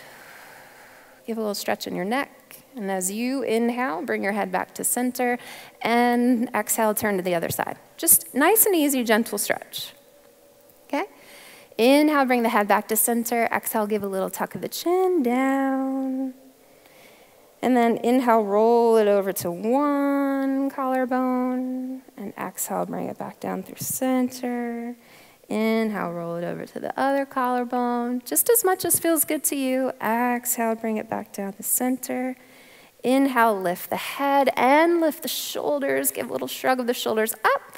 And then exhale, let them relax and release. And if you're good, we're going to do that two more times. So your inhale, just shrug the shoulders up. And then as you exhale, not only drop the shoulders, not only breathe out, but imagine whatever tension is there, maybe hidden, collected, is letting go. Do one more for good measure. Right? Just that stress that the body is holding that you didn't even know. It's leaving through your breath, right? Through this attention to the muscles, giving the body permission to let go. So, as long as it's okay, go ahead and stretch up through your right arm. Just give a nice length through the side body. Exhale, let that go. Yeah, doing good. And inhale the other. You can lean if that feels good, just what feels good to you. And exhale. Good. So be mindful of who's around you. If you're like real, you know, close in, we're gonna do just a gentle twist, and it needs to feel good. So just sit up nice and tall. And then as you exhale, spin kind of from your belly button. Do a little turn to the right. You can do whatever you want with your hands, you know, a hand across, just whatever feels good. Inhale, come on back to center, sit up nice and tall, lots of space between the vertebra. And then exhale, easy little twist over to the other side. And again, make sure it feels good. Inhale, come on back to center. And then again, be mindful of your neighbors. Lean a little bit to one side. Yeah. And inhale, come back to center and lean a little bit to the other side. And inhale, come back to center. Let's take a little pause. Are you noticing tension in the body that maybe you didn't even know was there? Is one side tighter than the other? Right? So we don't, we don't pay attention to that. And the, the stress response on the body, like was mentioned, is for all the muscles to get really, really tight and actually turn in, right? It turns in on itself. So by using the body to loosen, to open, to, to get some more room and space, it's countering the stress response. It's telling the body that, oh, we don't have to be um, in this fight, flight, or freeze. What is so fascinating is another symptom of fight, flight, and freeze is the eyes. They get really, really big and they go forward, right? Because it's the eyes are the body scanning for danger. So again, if you're willing, can I have you close your eyes? Only if that's comfortable for you. And I want you to take three breaths. And what I'd like for you to do is try to feel the eyes move back and down. And that might feel helpful as you exhale. Like, feel the eyes get real heavy. Feel all the muscles across the eyebrows and the temples and the inner and outer corners of the eyes soften. And the reason being is this is telling the body that you're not in a stress response, right? You're actually moving into that parasympathetic response relaxed, calm, present. And then, as long as it's okay, if your eyes are still closed or open, whatever feels better, could you just take a nice, easy breath in, give a little pause at the top, just like a second, and then breathe out and see if you can like empty your lungs all the way. You can breathe out of your nose or out of your mouth, whatever feels better for you. And may I invite you to try that two more times. So a normal inhale in, don't be, so little pause at the top, and then a bit of a longer exhale out. And just see how that feels. One more, if that's all right. The body is softening. Again, that stress, that unconscious tension is leaving. Awesome job. And then see if you can let the body just feel a little heavier. Heavier in the seat, the arms heavier, the hands heavier. And then go back to that little scale and see what the level of tension and stress is in the body now, in the mind now. You know, one, calm, chill, present. 10, a little more stressed. All right. And then I want to invite you to open your eyes if your eyes were closed. So it was a real small practice, right? Um, but just attending to the body, just bringing the mind into the present moment is so powerful. Because the stress response, again, typically the mind is focused on the future or the past. Like, if you really think about that, um, when you're stressed, when you're worried, even when you're in that hypervigilant place, you're, you're not really present, right? You're scanning, you're thinking, or you're worrying. I shouldn't have said that. And so, just that simple exercise that we just did um, was is really beautiful because we we brought a lot of things together.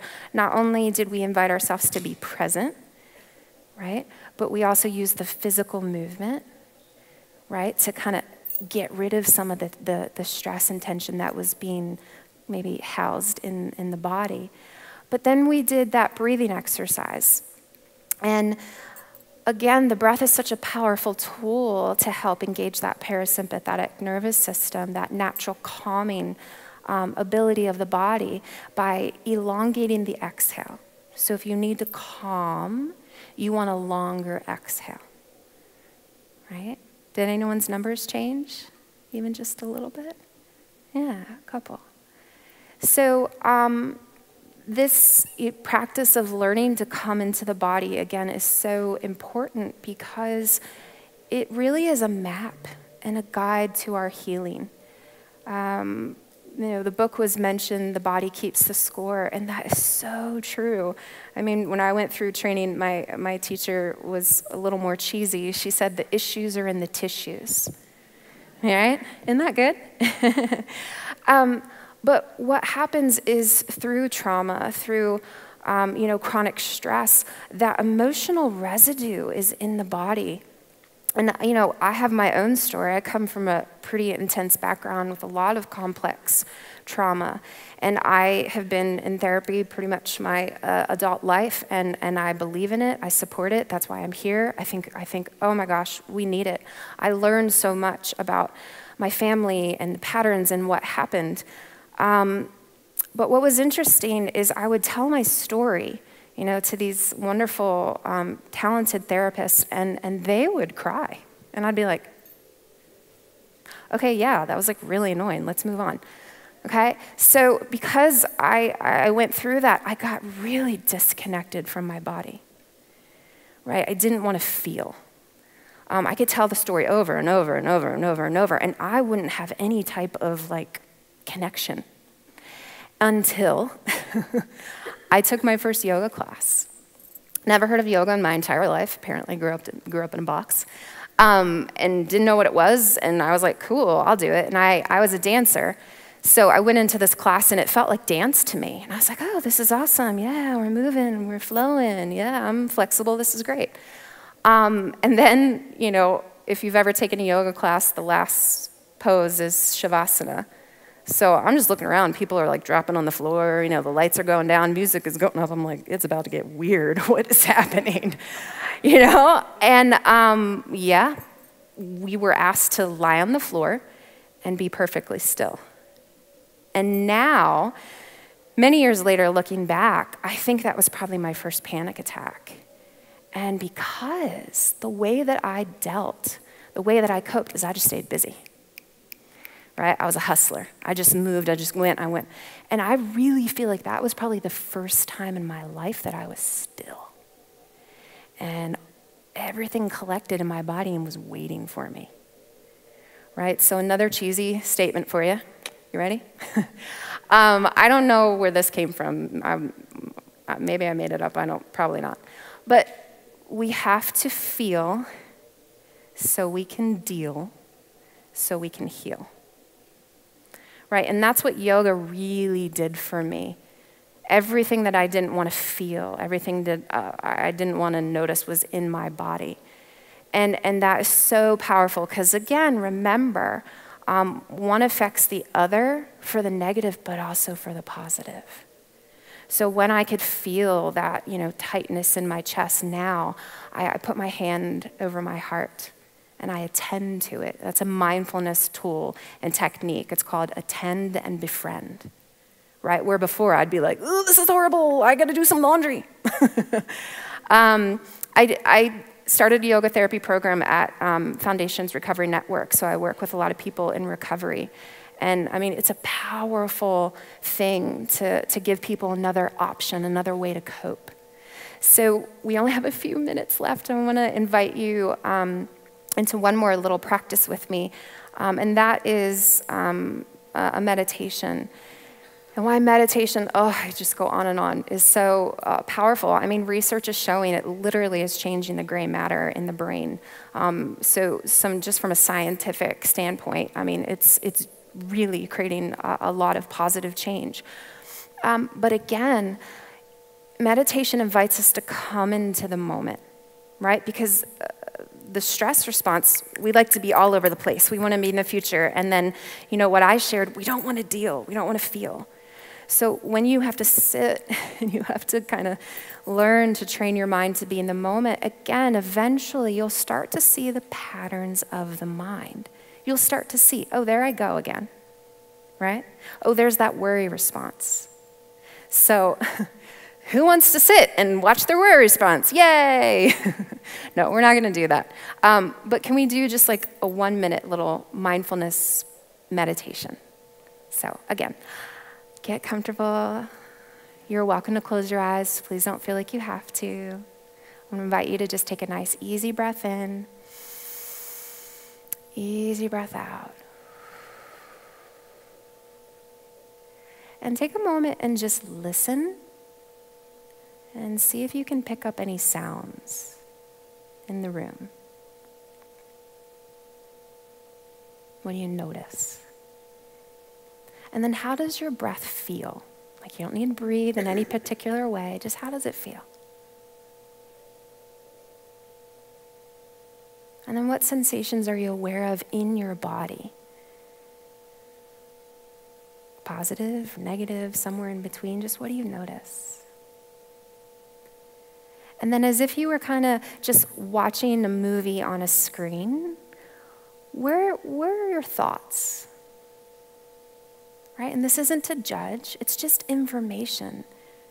We're just noticing. Good. Can you feel your feet? Can you feel your legs? Just the sense of grounding. I invite you to take a slow breath in and out.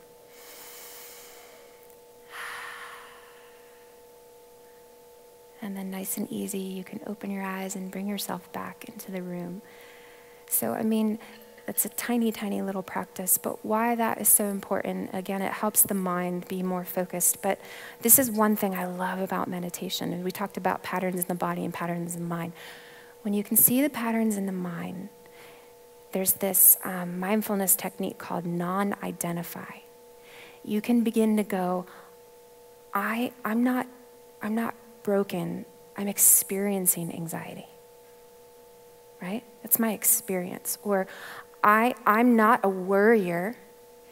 This is a, a pattern that I'm noticing. So you take whatever it is you're struggling with, right? Because we all struggle, and you pull it apart from who you are. And you watch the pattern at play, but you also still get to be you. Beautiful, wonderful, incredible you. And these things, these mind habits, that's all they are. And I really think that's where true healing and connection come in the mind and the body, and then come, coming back to your true, real, authentic self. Thank you all so, so much for your time.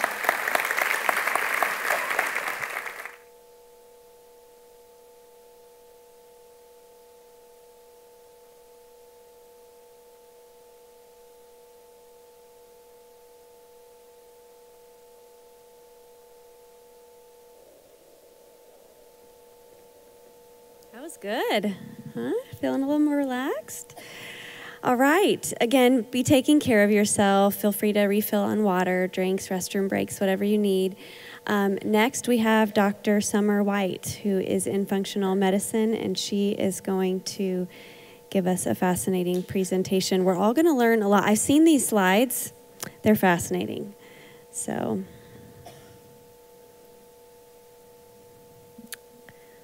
I'm sort of scanning the room for her. Let's see. Hi. Good. Come on up. okay, great. Thanks. Sorry. okay. Okay, hello everyone. So um, I just want to say thank you that to Amy and um, the Refuge Center for inviting me. This has been a great event already, and I'm learning so much. So I'm really excited to be here. And um, my slides up there. Um, so we're going to talk today about the microbiome and intestinal health, one of my very, very favorite topics. Um, what I do is I practice functional medicine, integrative medicine. So it's a holistic practice. And um, thank you. Um, my specialty is actually digestive issues. So irritable bowel syndrome, um, inflammatory bowel conditions like ulcerative colitis and Crohn's disease. So this is, this is a really fun topic for me, and um, I hope you'll learn a lot from it. Um,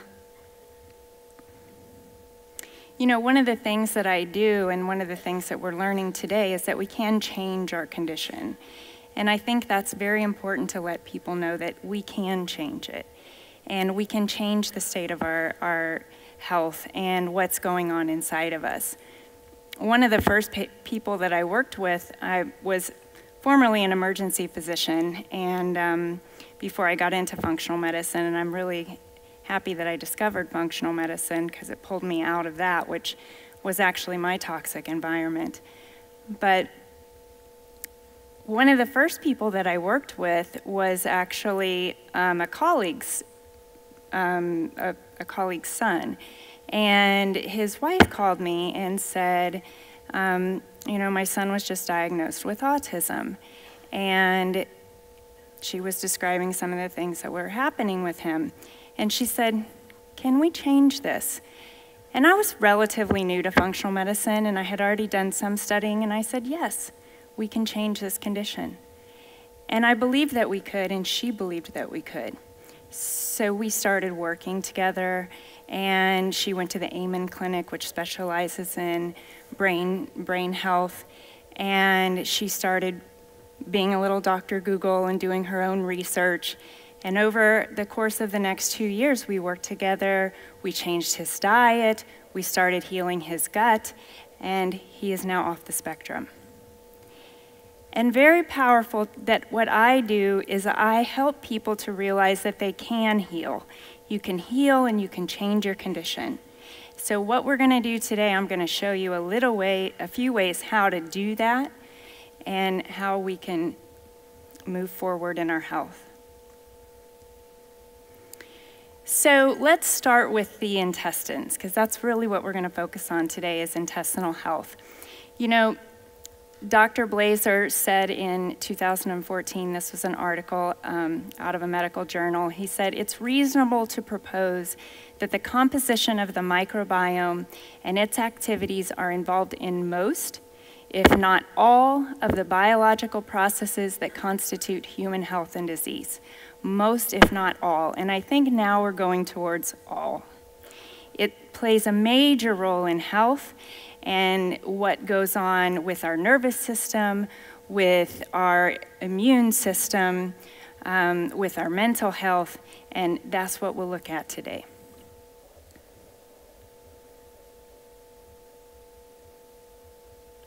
Okay, Oops. So we're going to talk about the microbiome, but let's look at first about what is healthy digestion. So one of the questions that I ask my patients when they first see me is, what's your digestion like? Because let's see if there's an imbalance. Let's see where, what could be contributing. And so we look at what does a healthy digestion look like? And when you think about digestion, you think about anything from the mouth to the bottom.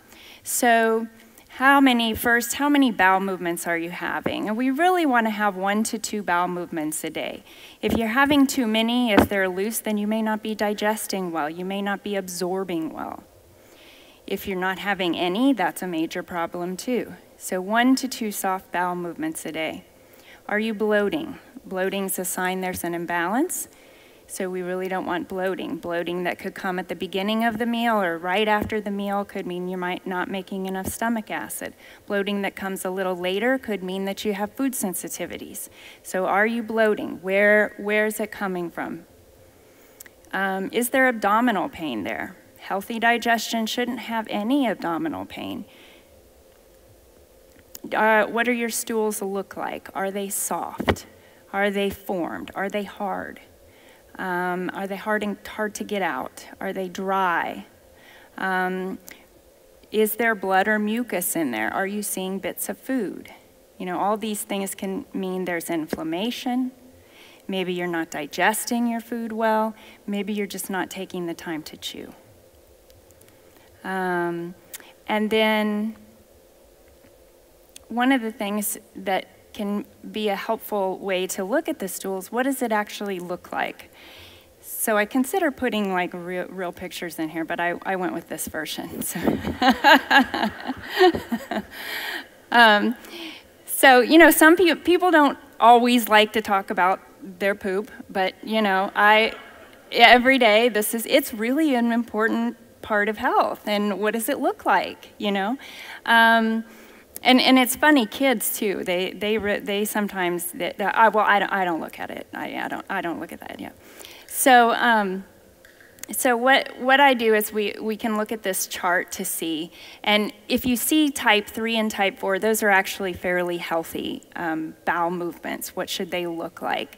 So you want the bowels. It it should come out easily. It should be formed. Really, you want one piece, like soft, like a soft serve ice cream, or it goes right down in the, into the toilet.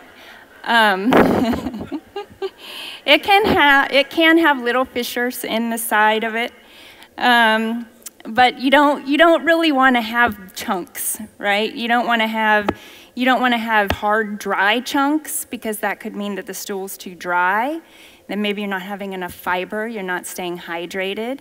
Uh, maybe you're, you're not moving things through well. And a big problem that I see with um, irritable bowel syndrome is they have very slow transit times. So the time that it goes from the stomach until the bottom, it doesn't, it, they're, it, they're, very slow, and, it, and that's a that can be a stress response. But the stool over time, the longer it stays in the intestines, it gets very dry. The water keeps getting sucked out of it, and so it gets very hot, hard and dry.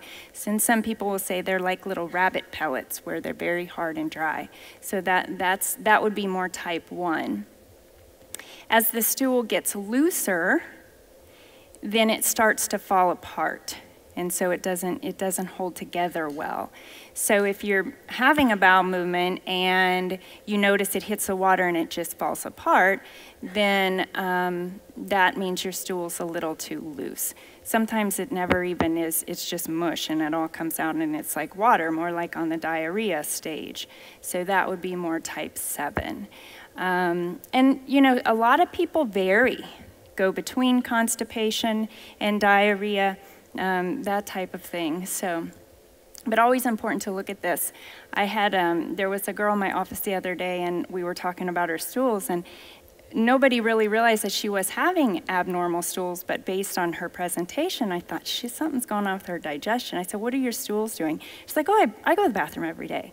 And I said, well, what happens when your poop hits the water? Does it stay together or does it fall apart? She said, oh, it falls apart. And then the mom's like, okay, so maybe something is going on here. So, one of the most important things when we're looking at the stool and we're looking at intestinal health is to look at our microbiome. So, this has been, um, you know, a hot topic in the last few years, and because we're learning how important it is to overall health. But the microbiome, it's the bacteria in the gut. Now, if you think about your stool volume, 30% of it is bacteria, usually dead, but it's bacteria. Um, so there's over 100 trillion different types of bacteria in the gut. Everybody has a different microbiome. They're very similar to um, people in your family. Um, total weight of the microbiome is about two to five pounds. So all this bacteria and its material is about two to five pounds. That, that's a lot. You know, I, I like to say that it's, it's its own organ, and we're really treating it like that. So we're going to feed it. We're going to nurture it. We're going to treat it like it's something that really is functioning like your heart and your kidney and, and your lungs and your brain. You're going to nurture it.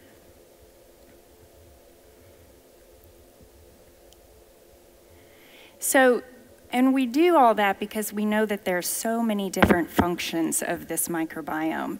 One of the main things that we're going to get into today is the production of neurotransmitters, things like serotonin. 90%, up to 90% of serotonin is made in your gut. And so if that bacteria is not healthy, you may not be making that, that serotonin. And you know, um, conditions like depression are associated with low serotonin production vitamin synthesis, things like vitamin B12, bi biotin, and vitamin K, all produced in the gut. 70% um, of your immune system is in the gut. So if there are immune problems or immune dysregulation, that can start with gut and intestinal problems. It also provides a barrier from the outside world. So really, if you think about your, your gut, it's a, it's a long tube. And, and really, it's exposed to the external environment. And so it's this bacteria that, that kind of funnel out everything and keep that from entering your body. Now, when the gut becomes dysfunctional, that you can get gaps in your cells and things that are not supposed to go into your body start to go into your body. But if you're healthy back, if you have healthy bacteria, they prevent this from happening. So they're really guard. They're like your guardians, the guardians from the outside world. And they protect us not only from toxins, environmental toxins, they bind to things like heavy metals. They also keep protect us from harmful bacteria, from parasites, from yeast, and they help us to digest our food. They actually secrete enzymes. They carry different genes in and, in and of themselves that help to secrete and produce different enzymes to break down the food. So let's talk a little bit about how this bacteria affects our mood and our stress response, which we've heard so much about today, which is, is really an important um, factor. And we know that this gut brain connection is really more than just that. It affects the entire body, like Dr. Thomas said. It's the entire body mounting a response and having a connection with each other. In holistic medicine, that's really what we do is we look at the body as a whole. How is it connecting? How is it making these, these webs to have responses all together? And we know that, this, that the bacteria themselves actually play a major role in how we respond to stress. So, when some of the first studies, or a lot of the studies that look at stress responses, were actually done in germ free mice. So, these are mice that they were incubated and grown up in an environment where they don't have intestinal bacteria. So, lack of bacteria. So, what happens is they take these mice and then they put them into a stressful environment. Now, for a mice, mouse, and there were a lot of different studies looking at germ free mice, some of them put them in a tube and they confined them there for hours at a time. Some of them put them on a treadmill and made, or um, one of those little wheels and made them run and mount a physical stress response like that. And then they compared those mice without intestinal bacteria to the mice that had healthy intestinal bacteria. By and large, the, the mice that were germ free had heightened stress responses. Their cortisol and adrenaline was much higher, three to fourfold higher than the mice that had intestinal, good, healthy bacteria. So then what they did, did, is they repopulated their guts. So they gave them good bacteria, things like lactobacillus and bifidobacterium. And they fed them bacteria and they healed their guts. And then they did the same study and their stress response resolved. So it came down and it came down to normal.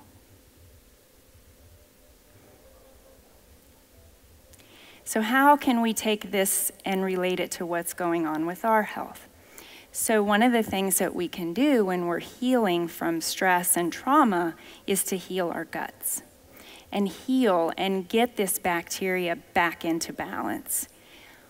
When it's imbalanced, we call it dysbiosis or that imbalance. And it can be an imbalance of not just bacteria, can be yeast, can be parasites. You know, a quarter of the people um, of the population have some sort of parasite. I see it every day in my practice. We let, look at their stool, we find there's a parasite. Um, you know, it doesn't have to, this, the dysbiosis doesn't necessarily have to be in the gut. You can also have dysbiosis in your skin, in the vagina, in your teeth, in your mouth you know, now we're learning so much that our body isn't as once sterile as we thought it was, that now we're learning there's a microbiome in the brain. So, very important. Um, so what happens, what, why do we get imbalanced and, and how, does it, how does it happen? Um, you know, a lot of times if you are born via vaginal delivery, you get your microbiome, it starts from your mother. So if your mother um, has IBS or some autoimmune conditions or things that are associated with a weakened microbiome, you're going to get, you're going to inherit hers. So that starts, if you're breastfed, it's different than if you're nursed. Um, If you've had antibiotics, that affects the bacteria, decreases the overall diversity of the bacteria. If you are on medications such as antacids like proton pump inhibitors, like Nexium and Prilosec, those types of medications, causes your body not to uh, digest the food well. Lack of chewing, the same thing. You're not able to digest the food well. We're learning that those undigested food particles are actually causing growth of unhealthy bacteria in the gut chronic constipation, where things just sit there and ferment, then feed the unhealthy bacteria. So when you look at your gut, you look at healthy and helpful bacteria versus not so helpful bacteria, right? How do emotions play? So when you have an emotion of stress, fear, or anger, those emotions suppress your your healthy bacteria, things like lactobacillus and bifidobacterium. They also cause the growth of not so helpful bacteria. They also, eh, stress responses like catecholamines, things like adrenaline, also stimulate the growth of unhealthy bacteria. So I kind of look at this as a way of if you've been exposed, which we all have to these types of emotions, you've had these emotions before, it's like giving yourself internal food poisoning, right? Because that emotion is triggering this growth of bacteria that's not helpful. You're going to get diarrhea. So it can be the same as taking it by mouth. So if you go and get food poisoning, you're injecting, ingesting a bacteria or virus that's not helpful, gives you vomiting and diarrhea. So, what happens with dysbiosis or this imbalance of bacteria? One of the main things that happens is inflammation, inflammation in the gut. And I see this in stool tests that I, that I prescribe on people. We look at inflammation markers. But what happens is, is this inflammation affects your hormones, affects your neurotransmitters. Inflammation in the gut equals inflammation in the brain. So if we can calm inflammation in the gut, we can support inflammation in the brain. We know that depression is an inflammatory process. And so when we look at nutrition, we look at anti inflammatory foods to decrease overall health inflammation. But many studies show that inflammatory markers that we can actually measure in the blood are higher in um, people with depression. So, what is this gut brain connection? Um, you know, your gut has its own nervous system. So, it's called the enteric nervous system. So, does anybody, has anybody haven't ever had a nervous stomach before? Yeah, that's your enteric nervous system. And I really like what Amy said when she asked the question, How do you feel? How do you feel in your head? How do you feel in your heart? And how do you feel in your gut, in your stomach? Right? That nervous system plays a role. And we know that it's, it's responding, it's influencing what's happening in the brain because it produces your neurotransmitters. So that serotonin that it's producing, you know what modulates that is those little bacteria. They're like the little gatekeepers. And they say, okay, you can make it and you can release it. So they play a role in both. And it's that healthy bacteria that allows the body to make and release it. it's connected physically by the vagus nerve. So everything we've done today that talks about the parasympathetic state, everything that Kate went through, that's activating your, your vagus nerve. And but you know we we know more and more that this connection it's not really just that it's involved in mul multiple different um, systems as well and adrenal glands are a major part if, if anybody's heard of the adrenal glands they sit above your kidneys they're little tiny organs they secrete your cortisol and your, your epinephrine. And they play a major role in this gut brain axis too. So it's really more than the gut brain axis, just like most things we talk about, it's the whole body. So this is just a picture overall about the gut-brain connection, how it goes both ways. And so when you're working on the gut, you work on the brain. And when you're working on the brain, you work on the gut. They go both ways. So I'm just going to mention this briefly because I'm kind of running out of time. But IBS, you know, it's a syndrome, it's really a, a gut-brain axis disorder. So when I work with patients with IBD, with IBS, um, there's so much literature on this about how the way this dysbiosis contributes to IBS. And I think in Western medicine, um, we're not, we call it a functional disorder because we really don't know what's causing it. And in functional medicine, we believe that it's this dysbiosis, this abnormal bacteria and the digestion that comes, and that's how, that's how we work to uh, resolve it.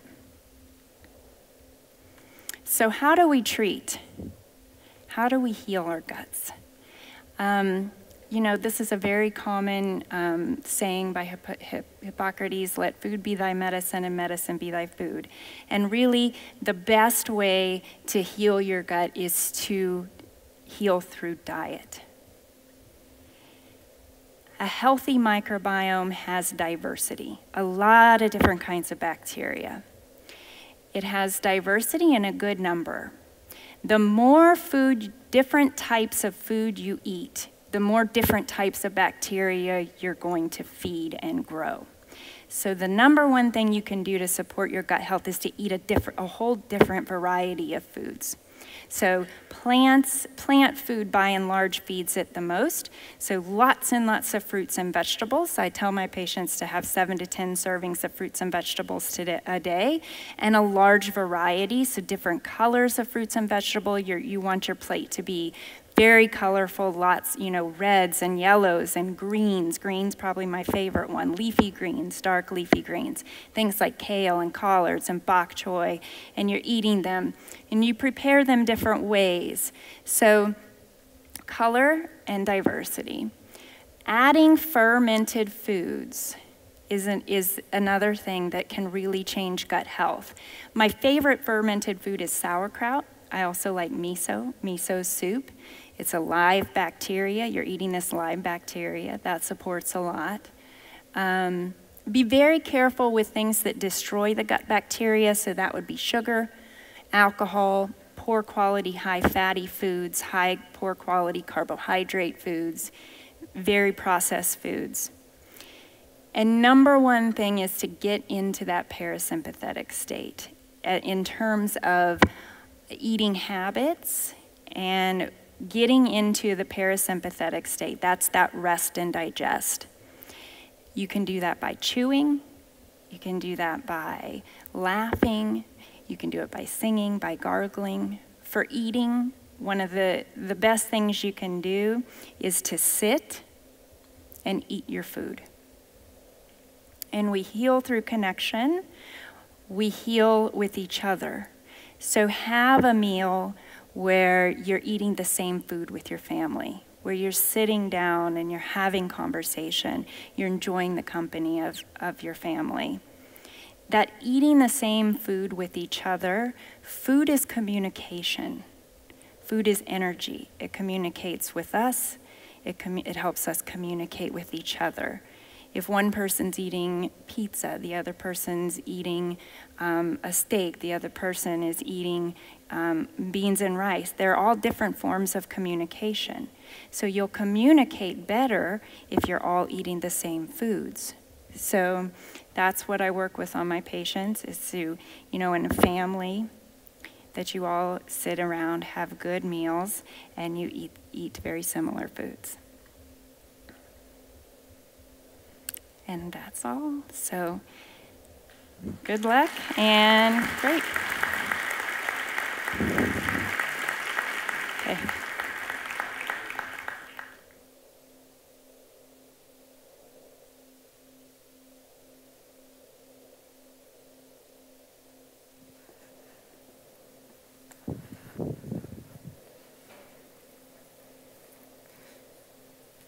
Dr. Cabell, do you have the clicker? ah, sorry.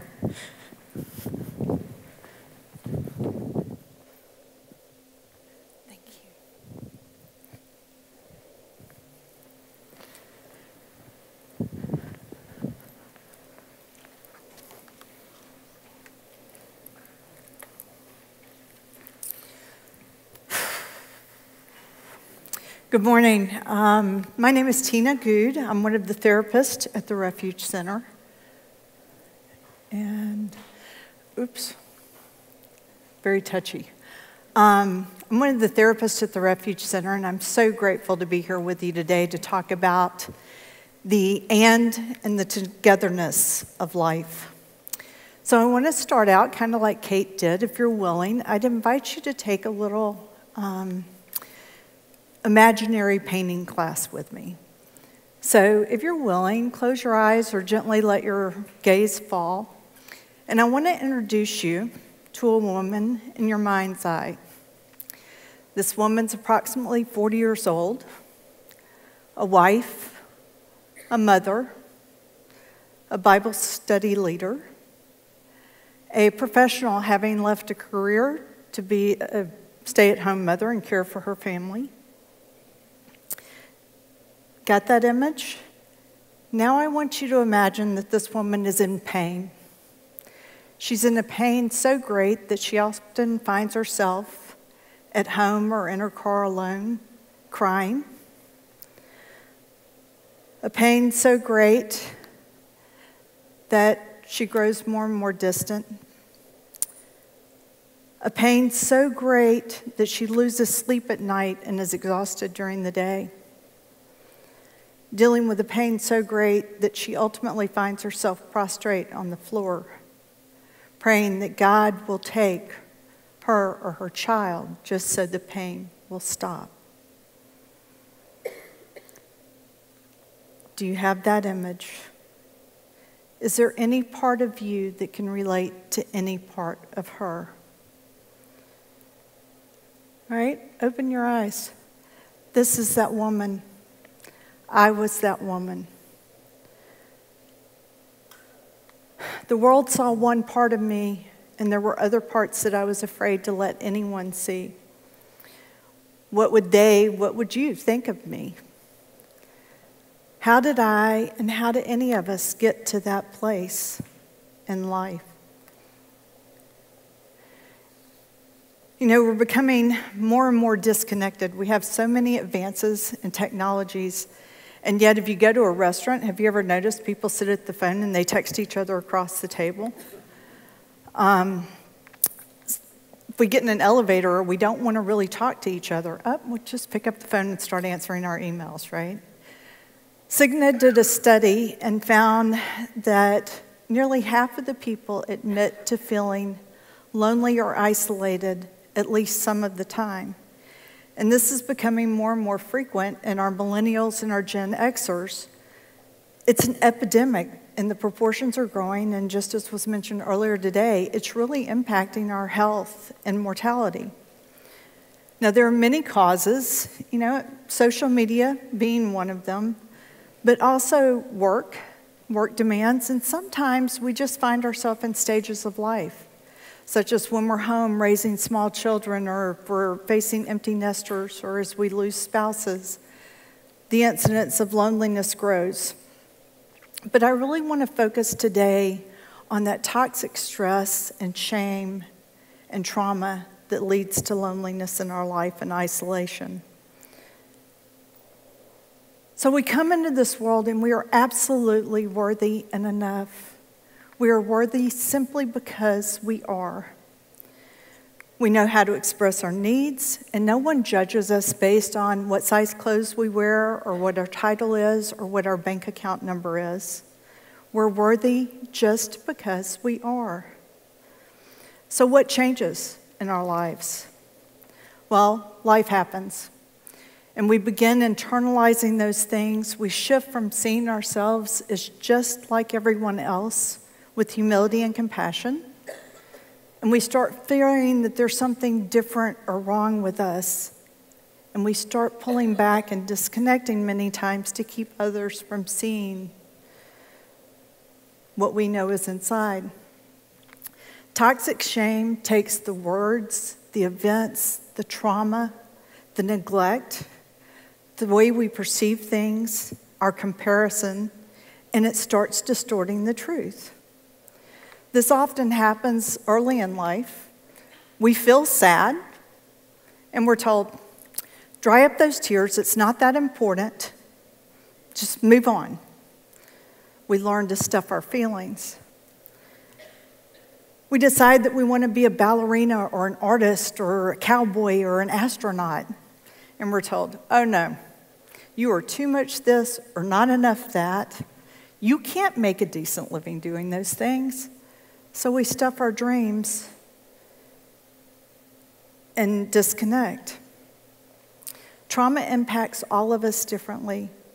What affects one person may not affect the next, but it ultimately leads to toxic shame and begins to hide the worth of who we truly are.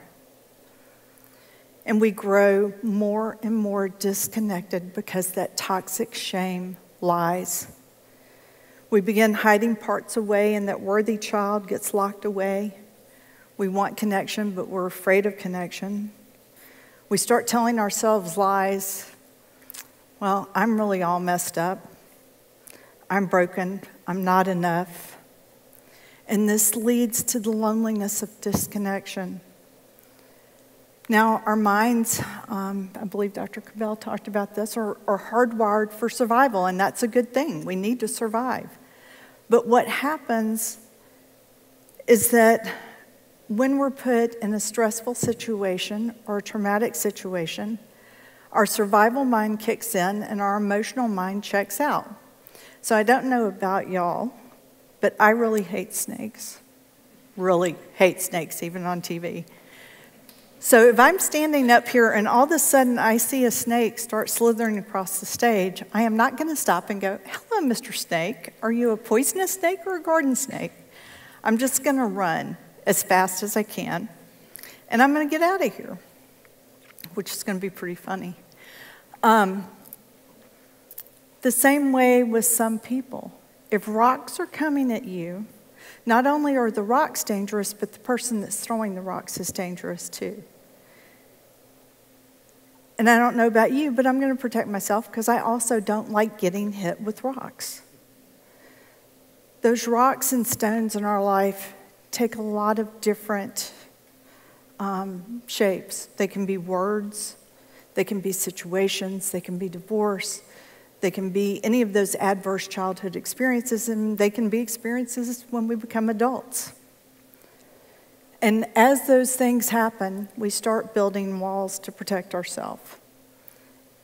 In 2006, when addiction squarely took aim at my family, the stress and the trauma grew large. I started building walls because I told myself it's all my fault. I failed as a mother. I mistakenly believed that things like this didn't happen in families like mine. We were a good Christian family. I thought I had done all the things right, but apparently I'd failed. And so I became a master engineer. I just kept working on that wall that I had started constructing as a little child. And I talked less and less to my family because they'd ask how things were going, and I didn't want to tell them the truth, but I also didn't want to lie. So I just grew more and more remote. I looked at my friends whose children were going off, you know, doing everything they had to do to get in the right school. And the comparison set in. And so I just got less chatty and more busy with other things so that I wouldn't have to talk. I knew what perfect families looked like because I had seen them on TV. I saw them on Facebook. I saw him in my neighborhood. And I knew that I wasn't living in one of those perfect families when we closed the door at night. So I did everything I could to put on a really pretty shiny mask when I went out in public so that no one could see. And then I tried to control everything and everyone in my life until I was exhausted. I did all of these things because it was the best I knew how to do at the time. Chip Dodd in Voice of the Heart, which was also mentioned earlier, and we didn't discuss that, says that pain is a gift. Now, doesn't that sound prolific? Pain is a gift. Well, I think he's probably right, but it certainly doesn't feel like it at the time. But if we choose to listen to the pain, it tells us something. It teaches us, it informs us. You know, if, if we were to have chest pain, if you had chest pain or arm pain, would you go and listen, do something about it? Why then will we not sometimes listen to the emotional and relational pain when it's trying to inform us and tell us something? Now, I have to tell you at this point that it is absolutely by the grace of God, my therapist, some very dear friends, my people, my community, that I listened and that I am standing here today. Change was absolutely required for me, and I needed community in order to change. So, this is where the ampersand comes into my story the sorrow, the pain. They became gratitude and transformation, darkness and light, sadness and joy, all in community. And I began living in the ampersand. The ampersand is an inclusive symbol meaning and. If you connected to any part of that image in your mind, you know that we are all part of common experience. We share emotion, we share experience. It is part of the human condition and part of our common humanity. In Ecclesiastes, we're told that two are better than one. Two get more work done, and if one falls, there's another one there to pick them up. But if one falls and there's no one, they're alone. Living in the ampersand in community with one another. Now, I think nature can be a great teacher too. And there are a lot of geese out where I live. Um, and you might notice that that geese fly in formation. You might have heard that geese fly in a V formation because it gives them uplift. And actually, the geese can fly 71% further in this V formation than they could if they tried to strike out on their own. What I find really interesting, though, and you may not know this, is that if one goose becomes injured or sick, two geese go down with the injured goose to protect it and be with until either the injured goose dies or it recovers, and then they strike out and find a new formation together or meet up with their original flock. The geese understand this need for connection, and so did we in the very beginning. As children, we come into this world, as babies, we're born reaching out and needing connection. That's because as humans, we have to have connection, right? Our very survival depends on connection. So, have you ever seen a hungry baby? And what does that hungry baby do? And what does it do louder if you don't respond to the original signal? We have needs, and yet we often tell ourselves we're needy. We have needs. We need to let others know. The book of Matthew gives us our greatest commandment that we're to love God with our entire heart, mind, and soul. We're also to love others as we love ourselves God, self, and others. This too is connection. Now, I'm a real big Brene Brown fan. Um, I think she's wonderful. If you're not familiar with Brene, I would encourage you to find anything that she's written or does. Um, but Brene puts it this way that connection, that we're made for connection, it's what gives the purpose and meaning to our lives. So, what do we do when we want connection, when we feel unsafe? When we have those walls and we don't know how to reach out. Now, I'm not suggesting that we run out of here and we start tearing down those walls and, you know, any of those things. That we start posting everything on Facebook and reaching out and saying, hey, I just need somebody to talk to, listen to, let me tell you what's happened in my life, because that's not safe. Some people have not earned the right to that kind of intimacy in our story. And sometimes, even those close to us are not um, where we need to go to process through some issues. But what I am saying is that pain is the dis-ease, loneliness is the symptom, and connection is the cure. So, how do we find safe people? Well, I think first we start off by becoming safe within ourselves.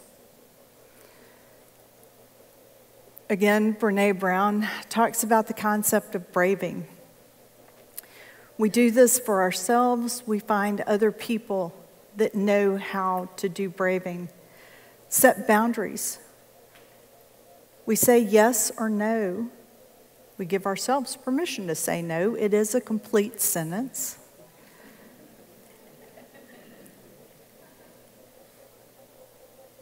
We practice reliability. We say what we're going to do, and we're accountable. We practice the concept of vault, which means if you tell me something, I'm going to hold that in confidence. I'm not going to talk about you with the next person. You're going to hold what I say in confidence, and you're not going to talk about me with someone else if I'm not there. We're people of integrity and we greet others with non judgment, accepting them for who they are. And we practice this concept of generosity, which means I'm going to give you the benefit of the doubt until you prove otherwise, knowing that we all make mistakes. We all, you know, get ruffled a little bit. We have that stress. We've talked about that. And I'm going to go back to you and repair that relationship, knowing that sometimes things just come out a little sideways.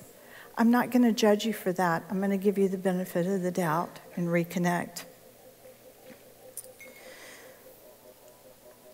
We listen to ourselves and we respond to the needs that we have. Now, I'm a therapist, right? So I'm going to tell you therapy's good. And it is. But I also want you to know that the healthiest, bravest people walk through the doors at the Refuge Center every single day. But besides therapy, you know, there may be trusted friends, family, pastors, spiritual directors, 12 step programs, groups, support groups, groups for people going through the same stage of life that you're going through, small groups at church. There are many ways to start connecting. So going back to 20 or 2006, I first reached out. I was, I was in a Bible study. There were about 200 people in that Bible study with me.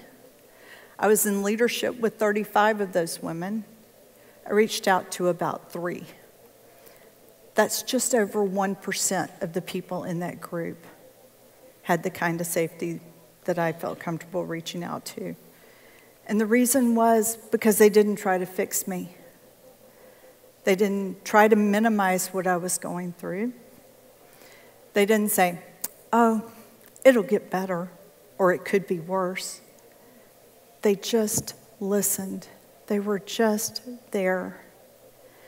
And a well timed, oh, sweetie, was a soothing balm to my hurting heart. Then, with the help of my therapist, 12 step work, a community of friends, my people, my tribe, my community became my lifeline. Now, the good thing is, just as we learn to build those walls and put up those defenses, neuroscience is now telling us that we can unlearn and relearn things. We can form new neural pathways. And that's good. Our brains are malleable, and that can occur at any age. So, as we start practicing new skills and techniques, we can start changing the way our brain thinks. Those old automatic thoughts can be replaced with thoughts of gratitude and acceptance. Our anxiety can actually be lessened when we start focusing on the present moment. Those geese, they fly together, right? Because they go 71% further in community. In community, we can move faster and better to a new way of thinking when we work together. And by working together in community through connection, we all become healthier. We take the lies out of the darkness in a safe environment and start dissecting them. And we find that in the light, they lose power. They're spoken, and it's no longer hidden shame we find out that we are all the same. We hear the words, me too, me too. We have a men's group that Pike um, and Weston, two of our therapists, lead on a regular basis. And in that group, I've heard that men find that they can be strong and they can have emotions. They can be brave and they can be fearful simultaneously. I also have the, have the absolute joy of working with our Wounded Hearts group, which is for women that have experienced childhood sexual abuse. And it is amazing and humbling to watch on a regular basis as women come together in community and hear others say, I thought it was my fault, and find that no, what happened, what happened was wrong. It was wrong, and you're not alone. And then they learn that they can find hope together and reclaim the story of their own lives. Our Healthy Relationships group, great place to start practicing all these concepts in safe community. Living in the ampersand, for me, means I don't know how to do the slide. Ah, wait a minute. Um, oh, let me give you an update. So let me tell you what's happened, because this is living in the ampersand for me. Seen, connected, safe, soothed, secured. From the darkest moments, the most transformation. My greatest pain has become my greatest joy. I now have the opportunity, I graduated with my, with my degree in clinical mental health counseling, and now have the joy of walking with people every day to find hope and healing.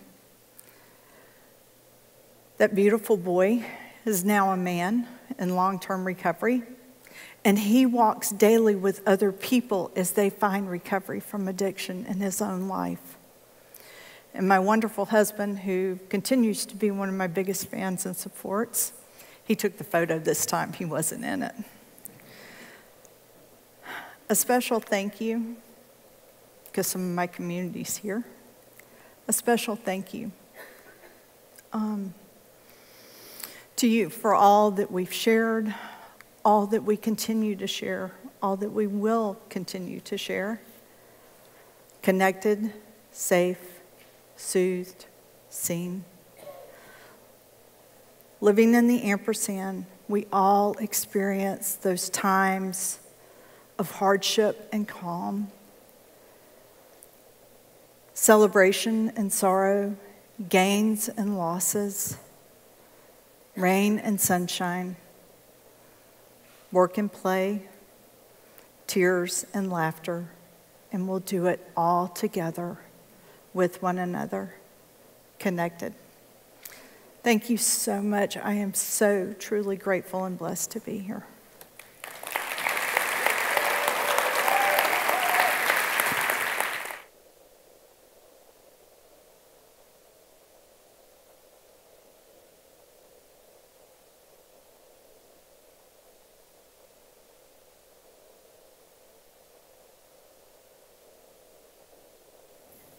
That concludes the end of our speaker portion. We're just going to take 10 minutes um, to do a quick Q&A if you have questions for any of our speakers. And we know some of you have 12 o'clock meetings, lunch dates. If you need to scoot, we completely understand. We will plan to wrap within the next 10 minutes, though.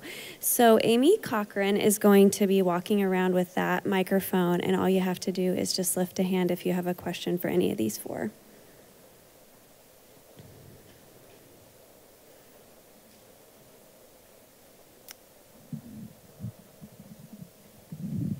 Thank you to all of you very much. Um, Dr.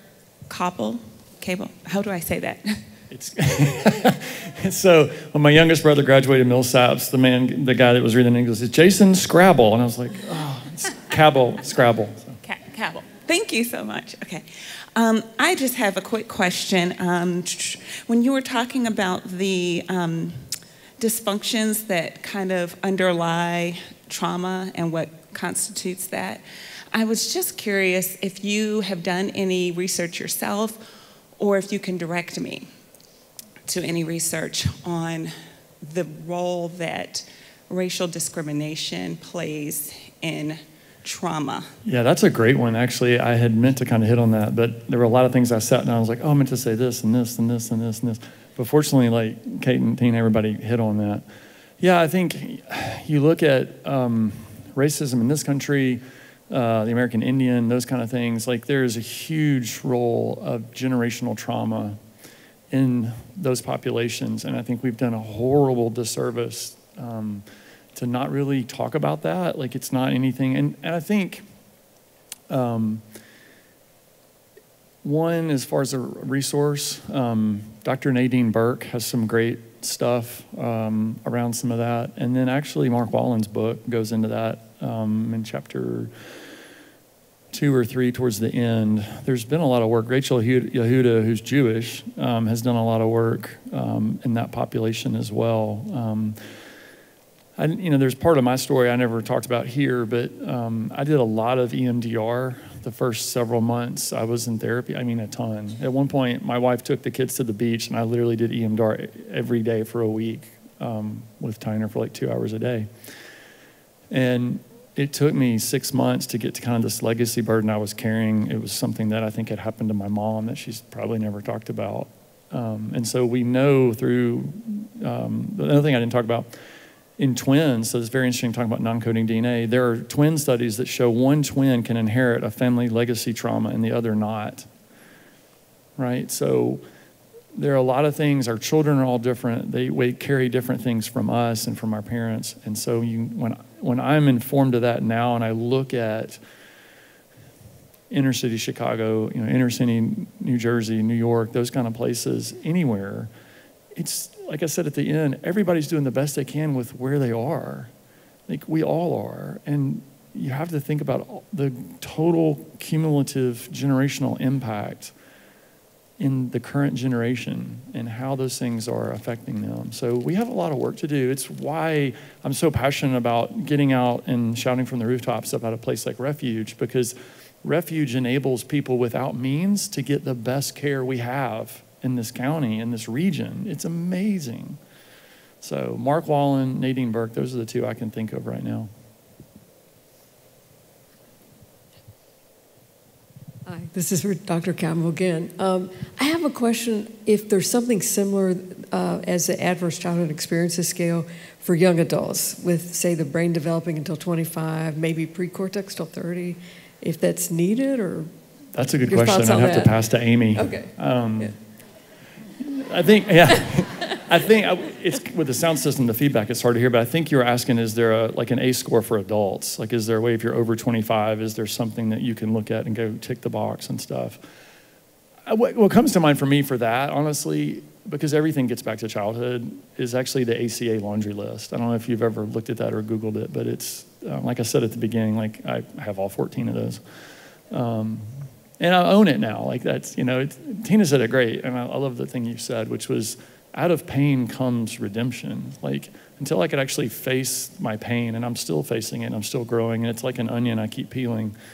Um, what I thought was my the, the worst thing about me has been my greatest attribute. So, The only thing, this is just anecdotal that I would add from my own story, was that when the stakes got high enough in my adult life, it triggered a lot of things that were still kind of residual. And it was kind of the straw that broke the camel's back that finally took me to the point of absolute transformation, which redemption I'm grateful for. Yeah, it goes back to that video at the beginning where he opens the door as an adult and all those trash bags are still there. They don't go away. Kate, could you repeat the, uh, the image that you gave of, of you, you lift up yourself, but you can see what the dysfunction is and it's separate? You know what I'm talking about? Meditation at the end, and you separate, you non identify. Yeah. Um, so that for me comes from a mindfulness practice called RAIN. It's an acronym. So um, R is for recognize, A is for allow, I is for investigate with kindness. Now they've changed it. Um, the original was non identify. And that's kind of where I really started to learn about that. Um, and and what that what that means at least to me and, and what i've studied and what i've seen in meditation is we have this ability as we practice to take on what is called the witness self or the observer so oftentimes we think like i am anxiety i am you know this is who i am this is who i am and as you you you kind of watch your thoughts instead of getting caught up in them um, you take on this uh, practice of, of noticing or of witnessing. And what that does is it gives you a little bit of space. Um, there's a fascinating practice that I do um, in groups is I'll have people, um, I actually think you mentioned it, name it to tame it. So what happens when we get triggered and, you know, a, a lot is happening in the mind and the body. So if you can actually take one of the experiences and write it out on a piece of paper and look at it, or I'll have them write it out on a whiteboard. Again, it, it gives a little bit of room, it gives a little bit of space because there's one part of you that's experiencing it, and then this witness part can step to the side and look at it. And then you're going, oh, I'm both. I'm the one who's experiencing, yet I'm also the one who's noticing the experience. And so that's where I think we can kind of pull, pull apart um, and give some space to who we really are. Hope that answers your question.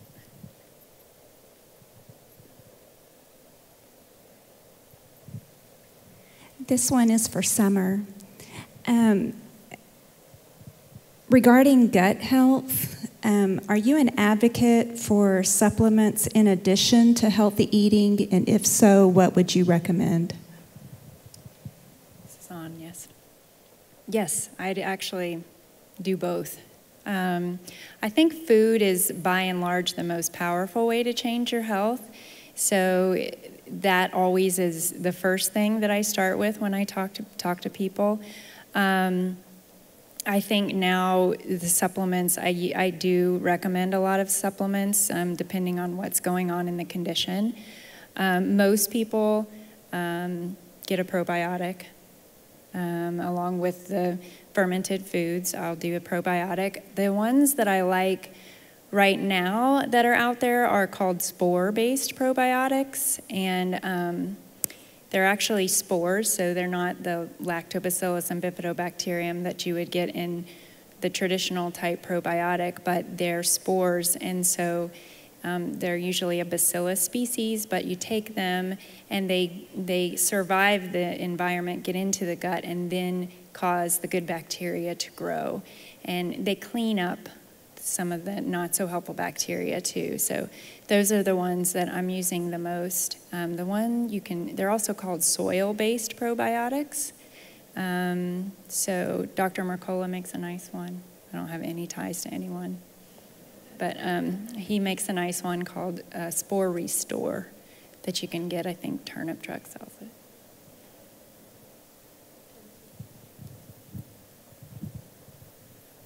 So she nailed it earlier. Um, Jason Sonnenburg is one of the key lead researchers for the Human Microbiota uh, Project at Stanford, and he's written a book called The Good Gut.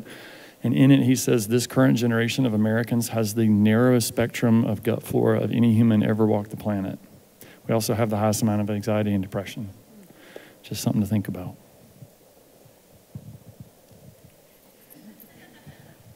Think a lot of that too is that lack of diversity in our diets, and also because we're so clean. So the food is sprayed with, you know, the herbicides and pesticides make it really clean, the antibiotics make it really clean, and all those things are also cleaning up our guts.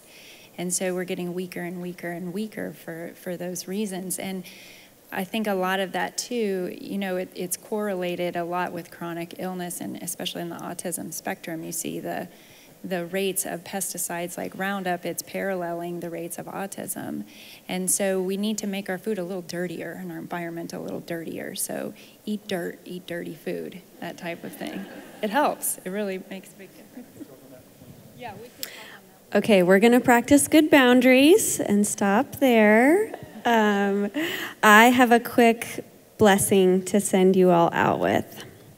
This is D. Simone. May light always surround you, hope kindle and rebound you. May your hearts turn to healing. May your heart embrace feeling. May your wounds become your wisdom, every kindness a prism.